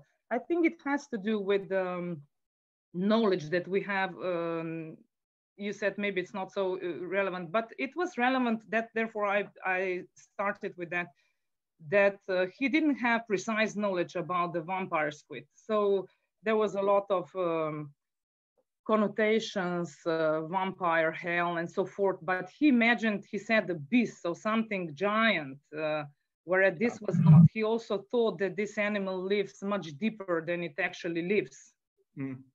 Uh, however, later investigations, for instance, uh, confirmed that um, split, so to say, this uh, abyss that is between these species. Uh, it, it's very relevant to consider all the species in their environments, in the hab habitat. Uh, so this, this habitat is the one, I mean, therefore he takes an animal that is so distant and so unapproachable that we cannot embrace. I mean, he, he is using these terms that also help to imagine that. So we cannot embrace this animal. If we see it, we see it as an object, even if it's studied by a science. So that would again be, be a kind of object, objectification. So we um, we don't we don't really come in in connection in uh, in real communication. So um, it's interesting that uh, later on they were able to, to catch the giant squid in the aquarium, to, to, to keep it in the aquarium, whereas the vampire squid is not, uh, is not an animal that would live in um, captivation, so would not survive. Uh, so which again, then, you know, uh, emphasizes this point that it lives in another in another world. So I'm I'm uh, in this paper I'm trying to I mean I'm actually coming to a conclusion that um, that Flusser is actually a, in a way repeating or um, it's in a way insisting in this uh, position um, which is um, which is the position in which he he observes the sublimity of this animal so that uh, he preserves this these um, images of uh, of the horrible but the nice support of mm -hmm. something that is endless and i mean in many many uh, features uh, he preserves this notion of the sublime in how he comprehends the, the squid and as you said if the if science uh, helped uh, with this demystification of the animals sure i mean sure so that was the basic reason why it was so much demystified. So these tales that were told about the giant octopus or squid or um, some beasts or monsters from the sea or maybe some lakes or for instance here we have in Slovenia Valvasor was writing about um, dragons from the from the hills from the mountains. Uh, he was observing the proteus this human fish. For instance people believe that these were the animal dra dragons uh, juveniles so yeah. has to do with uh, with the lack of knowledge for sure. So yeah. The other question is uh, what does this um, reach so reaching of the i mean if we enrich this capacity of knowledge um, i mean do are we still able to preserve this uh, richness of the perspectives that for instance we can still find in Flusser because i yeah. think we we are losing that. Okay.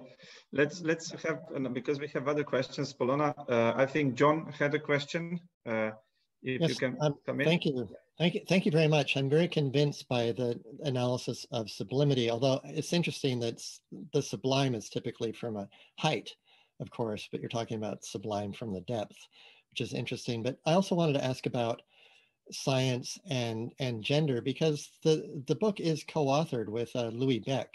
And I've never understood if he even exists. Is, is this a real person? Be, be, because sure. it's so it's so confused.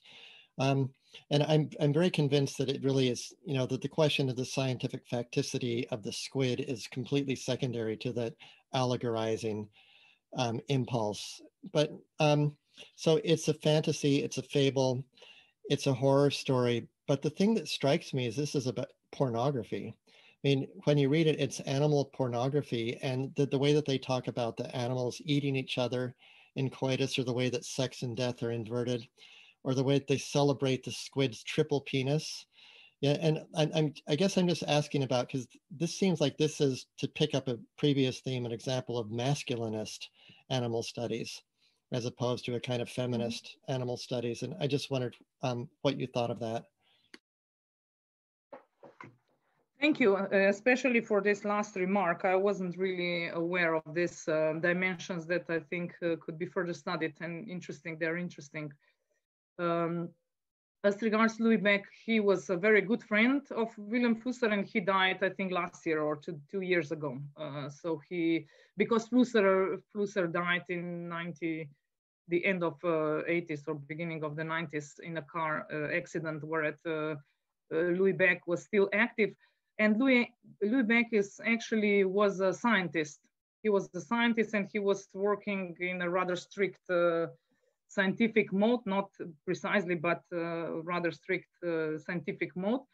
Um, and what is also interesting is that uh, Louis Bec was also um, took part in a project that Eduardo Kac did with the GFP Bunny, which was um, um, biotechnological, one of the first biotechnological art projects where he inserted this uh, green fluorescent uh, protein into a rabbit and address the genetically modified organisms. So Louis Bec was uh, collaborating in that project. So he was uh, actually pretty much involved. He, we were even together in a, in a, at a conference and um, he was also very much uh, interested in philosophical perspectives too, but he didn't really write philosophical text. So therefore, therefore this, uh, this text uh, as regards its uh, philosophical perspectives, I think would be authored by Vilém Flusser.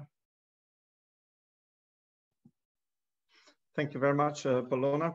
Uh, I think we are probably, we have time for one short uh, comment maybe or question, but uh, uh, you know, we are approaching the time. We only have one minute. So uh, we can also draw this to a close. If, if, if nobody has a burning question, then we will move on. Thank you so much for this Thanks. interesting lecture. Uh, our next uh, speaker is uh, Professor Noreen Herzfeld um, from St. John's University in Minnesota. Uh, Noreen, uh, what's the time at your at your place? It's now slightly later in the morning. Mic microphone, please. It's almost nine o'clock. Nine o'clock in the morning. Okay. So the sun is up finally. sun is sun is up. This is a good thing. we will see you better.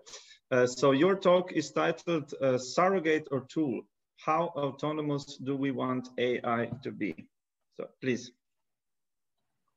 Okay, you can go to the next slide then. Um, so the title of my talk is Surrogate Partner or Tool. And the question that I'm interested in is basically the question of agency uh, for artificial intelligence.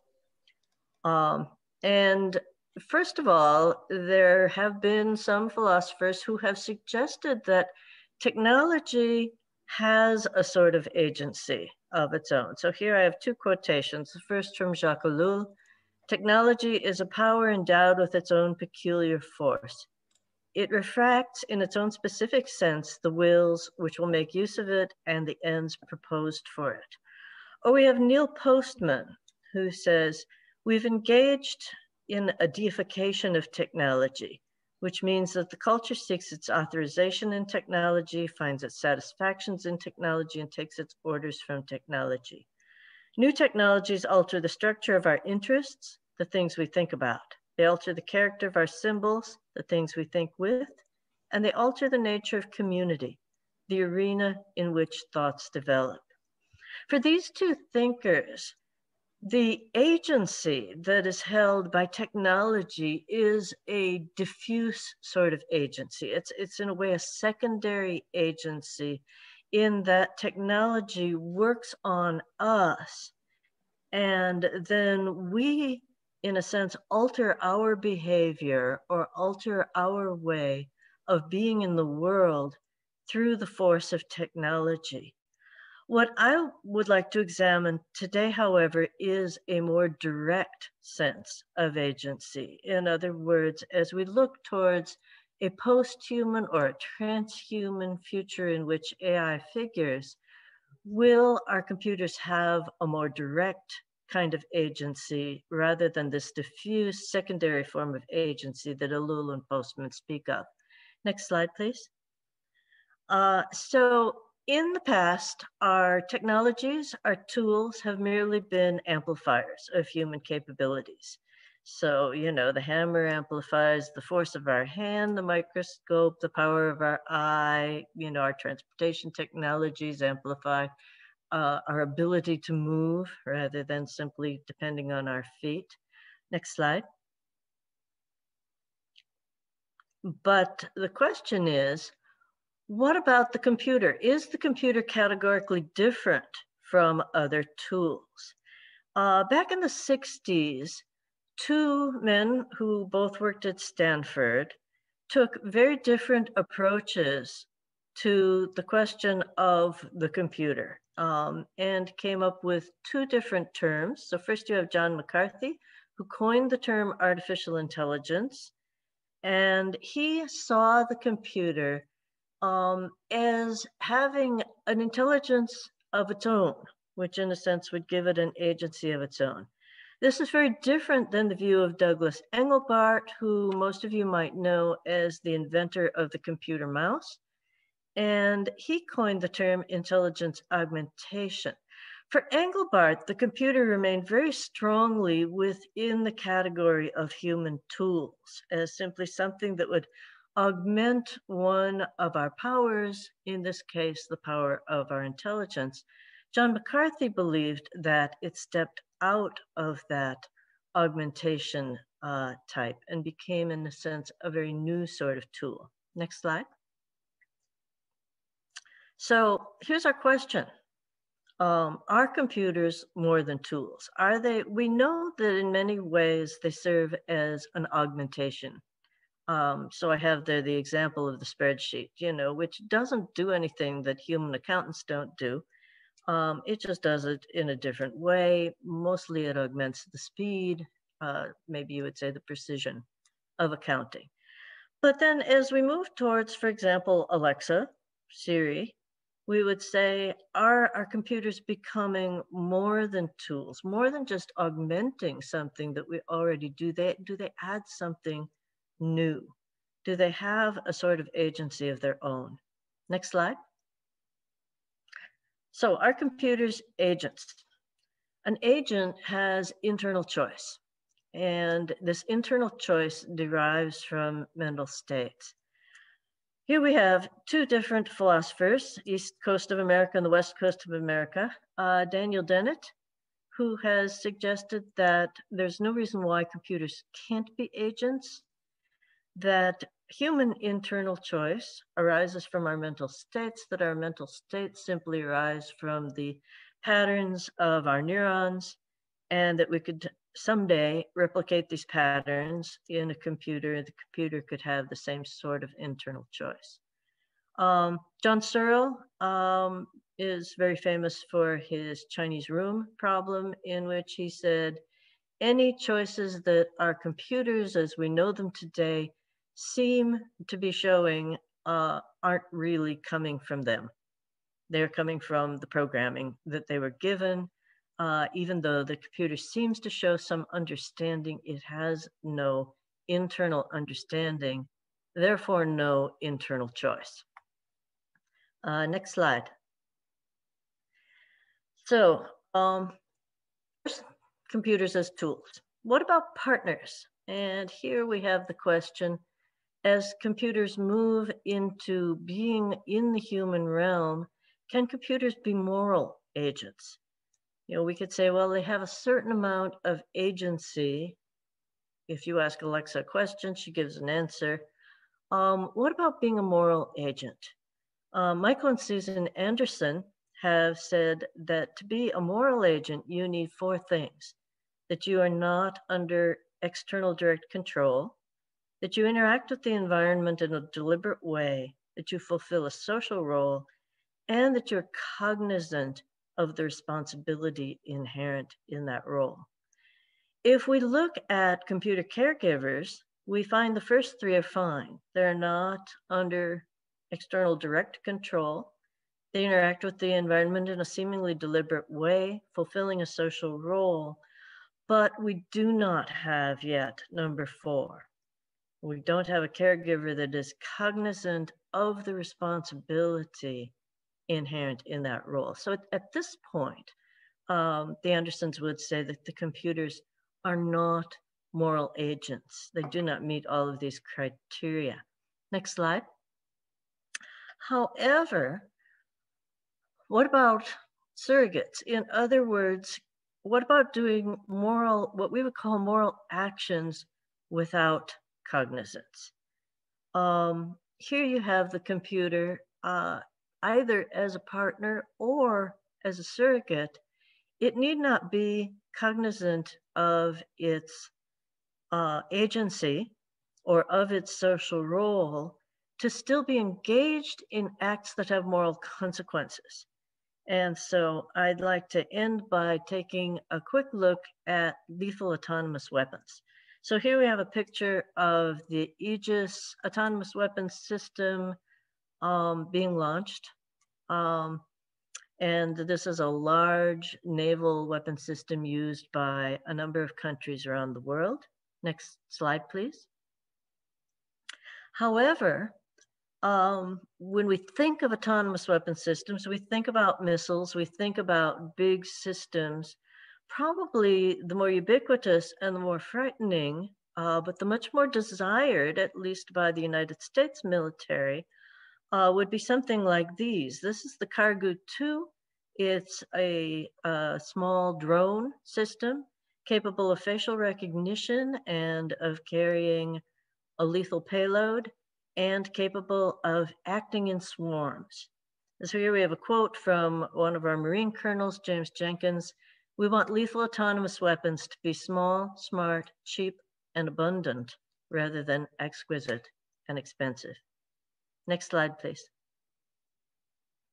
Uh, so here they are, coming soon, the new weapons of warfare. Next slide.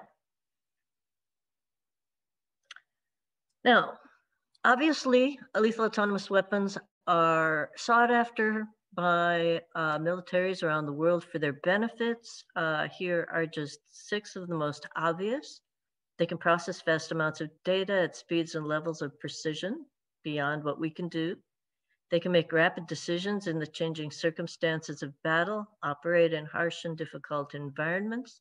They're a lot cheaper than human troops. They work long hours without tiring. They could carry out orders with fewer mistakes and they keep soldiers out of physically and psychologically dangerous or deadly environments. Next slide. Do they make warfare more or less just? There's disagreement on this. Uh, Professor Ron Arkin of Georgia Tech suggests that lethal autonomous weapons could make warfare more just. He focuses on how human soldiers commit war atrocities and has suggested that precisely because lethal autonomous weapons would carry out orders more precisely, they would make warfare more just in that they would not act out of fear, they would not act out of revenge, out of the emotions that soldiers experience on the battlefield. Major General Roger Robert Latiff, uh, with whom I'm collaborating on a paper right now, disagrees with this. Next slide. He believes that lethal autonomous weapons are a moral Rubicon for the 21st century, much in the way that the advent of flight was a moral Rubicon for the 20th century. What flight did was it took soldiers physically out of the battlefield. We could now bomb from a safe distance up in the air. What lethal autonomous weapons do, which is different from drones, for example, is they take soldiers psychologically out of the battlefield. They no longer have to make the immediate decisions that bring uh, the havoc of warfare. So while the 20th century took them physically away, the 21st century is taking warfare psychologically away from the soldier. Next slide. So here are four questions that I think we need to ask. I'm just going to present the questions um, and, uh, you know, if we want to go into any of them in further detail in the questions, we can. One question for each of the categories of just war theory. So jus ad bellum, when to go to war. Would fully autonomous weapons make war too easy and painless and mean that war would no longer be the last resort? Jus in bello, how to fight the war. Would AI's lack of human emotions make it less likely to commit atrocities, as Arkin says, or would it make it an implacable foe? Jus post bellum, who do you hold responsible for acts of warfare after the war? Can you hold a machine responsible for an act that was committed? Can you hold its programmers responsible? Does the responsibility ultimately go to who launches it? Or have we so diffused the responsibility that no one is responsible? And finally, jus ad vim. Uh, short of warfare, we know, at, certainly in America, that any weapon that is held by the military very soon trickles down to the police. Do we want, especially, to see these drones that I showed you coming to a police force near you soon? Next slide.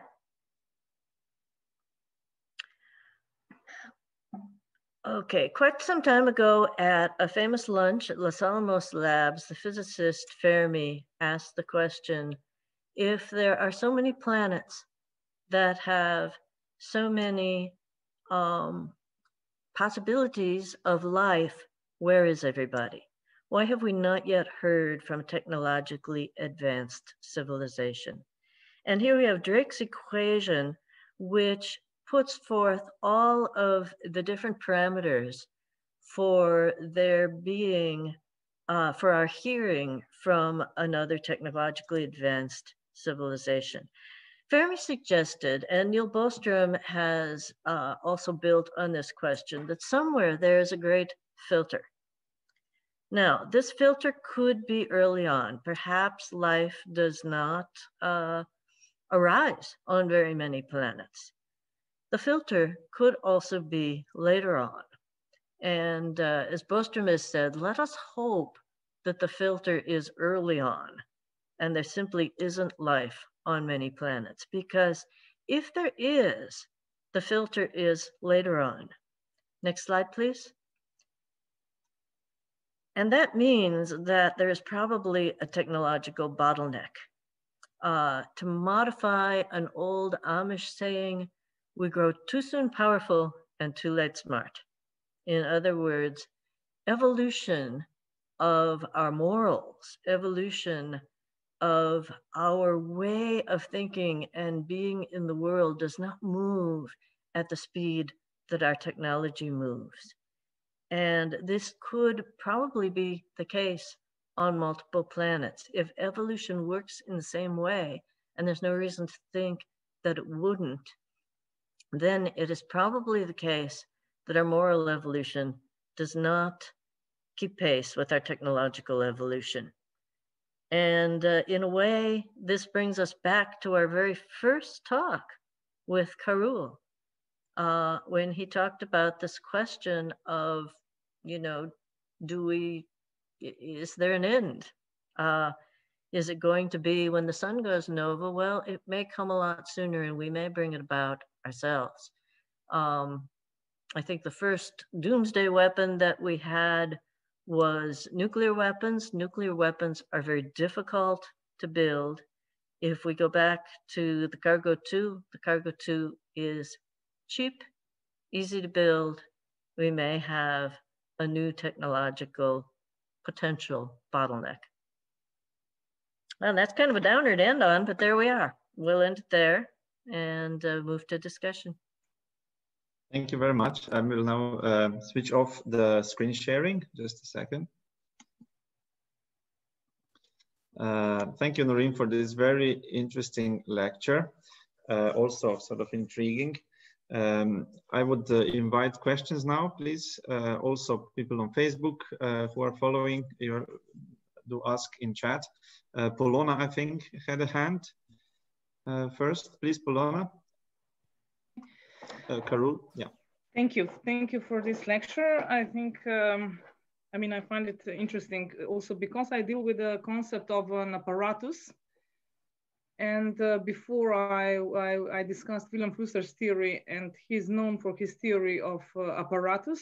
He's linking it to uh, to photo to camera, to photographic camera. I don't know if you're familiar with that one, with that work and this concept. No, I am not. So, uh, I mean, just shortly to, to say what he's saying, then I would uh, um, uh, elaborate on the question. So he's, uh, he's uh, differentiating three categories. He says one are the tools. These are the prolongation of uh, humans, which reach into the world in order to change it, to transform it somehow. So it's work invested in that. So then we have a concept of a machine, the difference is both of them, the machines and the tools, reach into the world and change it, and they do some work. Whereas machine is an autonomous agent, if you want. So it's something that works autonomously, whereas the tool is something that is a prolongation of man. But the category of the apparatus is completely different, he says, this is a category that belongs to a post-industrial society. And uh, what it does is it produces information. So it changes the meanings. It doesn't change the world and doesn't do the work, but uh, produces new meanings. So information, it's the society of information therefore. So I think this concept of apparatus might be useful he says that the relation of the man, of man with the tools is that the tool is a prolongation of man. The machine is autonomous, but uh, man could be attached, is attached to a machine, but is um, um, replaceable. So this is corresponding to industrial society. But in apparatus, a man is actually involved uh, in the apparatus in the way that he says this is a functionary He's a functionary of the apparatus. So there are there is a program. Each apparatus has a program, and um, what the man does in apparatus is it realizes one of the options of this program. So, um, but what I'm interested in uh, relation to your lecture, so if you considered about the notions of apparatus and the machine, there is one, uh, I think, interesting uh, uh, addressing of this notion comes by Levi Bryant. He's uh, part of this triple O uh, group. object-oriented uh, philosophy. Uh, so he's uh, reconsidering the notion of a machine quite differently than this, uh, so to say, according to this Marxist, Marxist philosophy. But you, you also came out with the question of responsibility or the question of power in relation to um, to the artificial intelligence. And I was uh, just recently discussing the case of a Facebook as an algorithmic program, a kind of an apparatus that uh, gets us in and so involves us. Flusser believed that the power is. Sorry, Polona, can you yeah, can you please move to the, to the question because we have sure, yeah. Sure, sure. So Flusser said that the power is in the hands of the programmers because the programmer is the one who makes the program and can change it and so forth. I would say when you were uh, asking this question, who is responsible in the case if you have artificial intelligence robots so forth, uh, wouldn't you agree that it's it's in a way simple, so that it only that um, the question of responsibility is then transmitted to the owners of these technological systems? Not necessarily. I mean, right now we would say certainly responsibility um, you know, of, of any act of warfare is to the person who deploys the weapon. Um, the problem with autonomous weapons is that they may make choices or decisions that were not anticipated by either the programmer or the person who deploys it.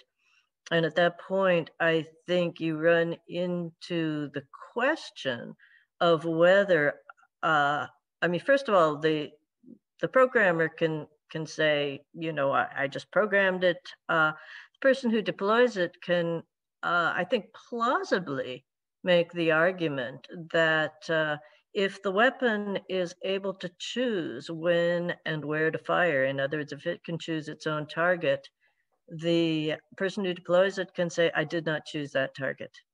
I would not have chosen that target then they could try to push the responsibility back on the programmer, but the programmer can basically say, well, I didn't choose that specific target. I only gave it, you know, these parameters.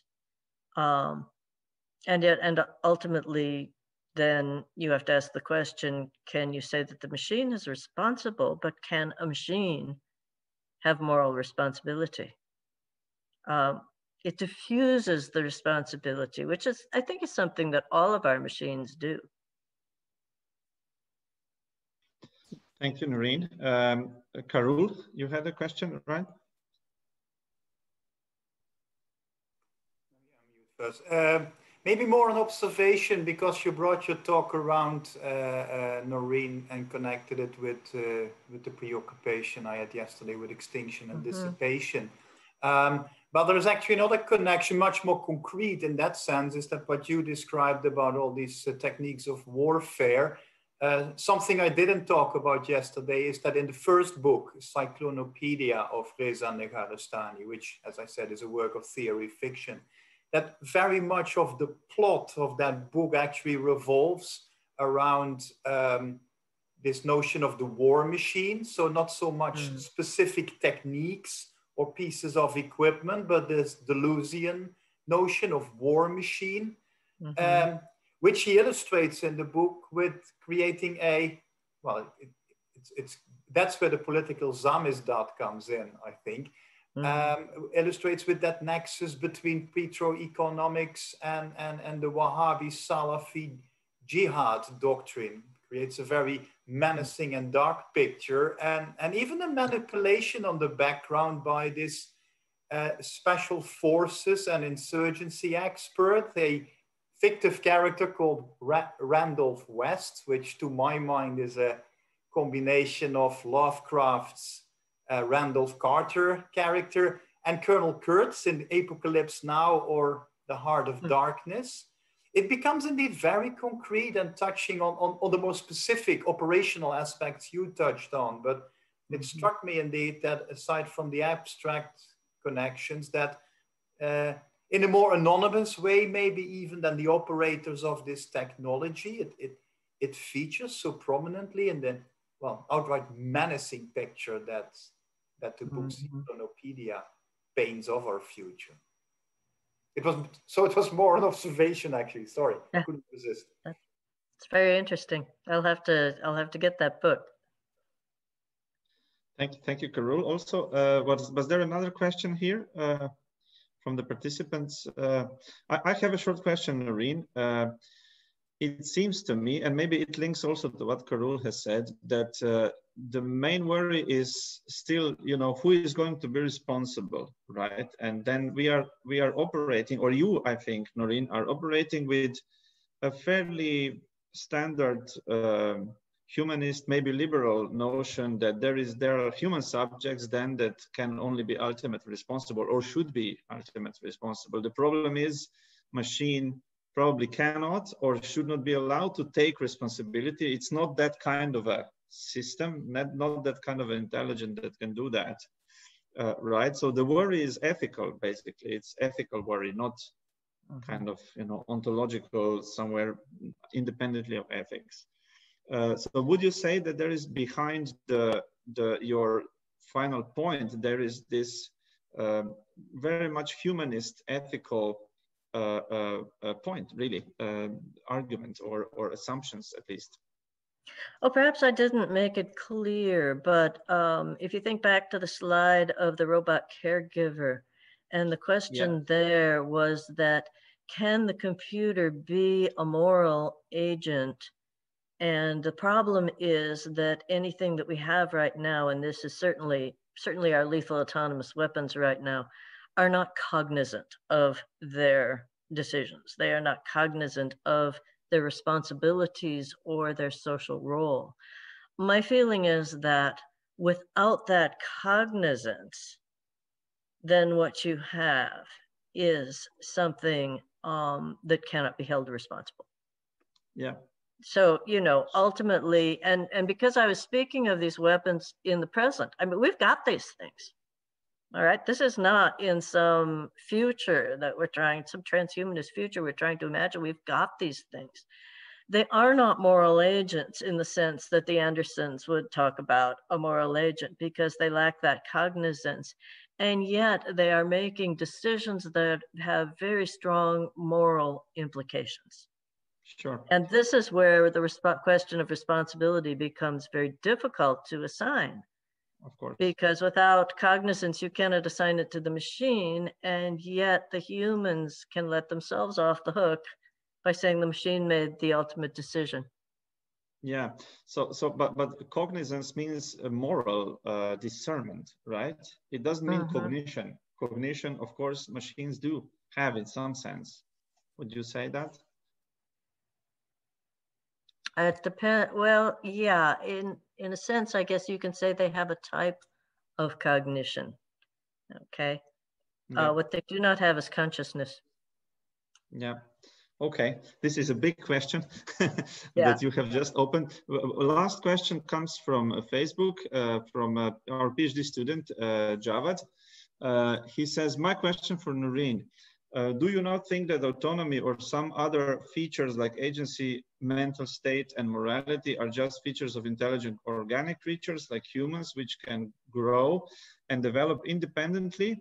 And AR examples are in their ultimate realizations, uh, or they should uh, turn to high intelligent organisms. I guess I've read it right. In this case, AI cannot be autonomous in a real sense. I guess it's more or less similar that we what we have just been discussing you have already addressed. Uh, he raises uh, another really large question that we were just moving into with the question of consciousness. And that is is consciousness as as we understand it coterminous with biological life?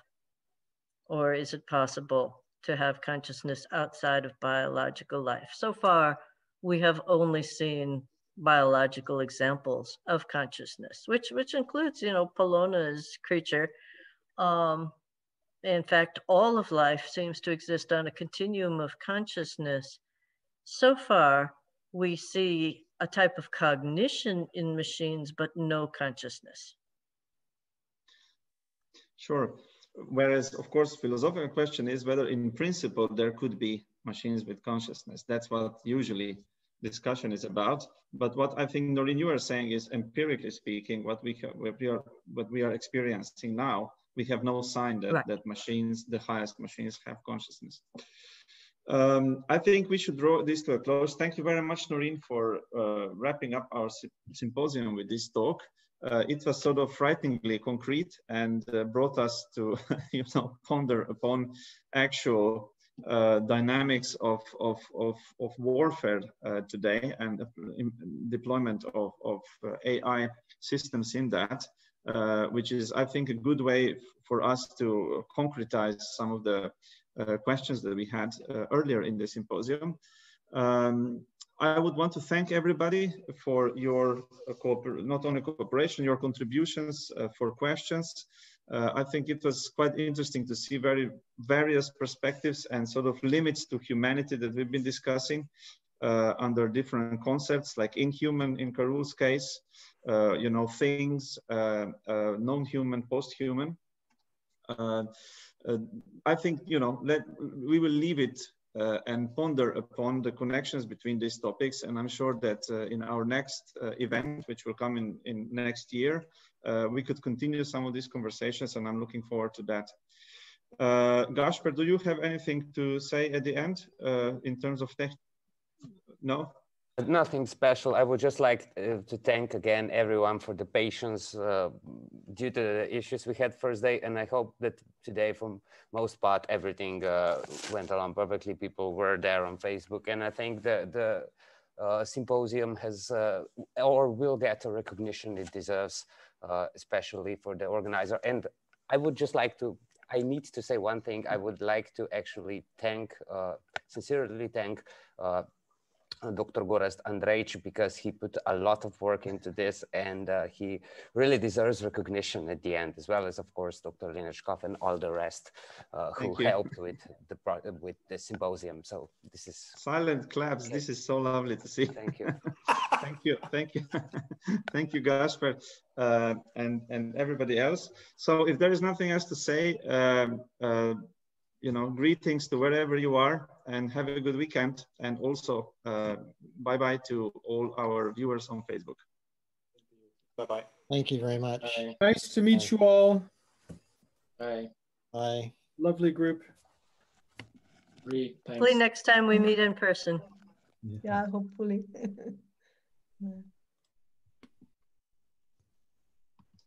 in the future, in the future.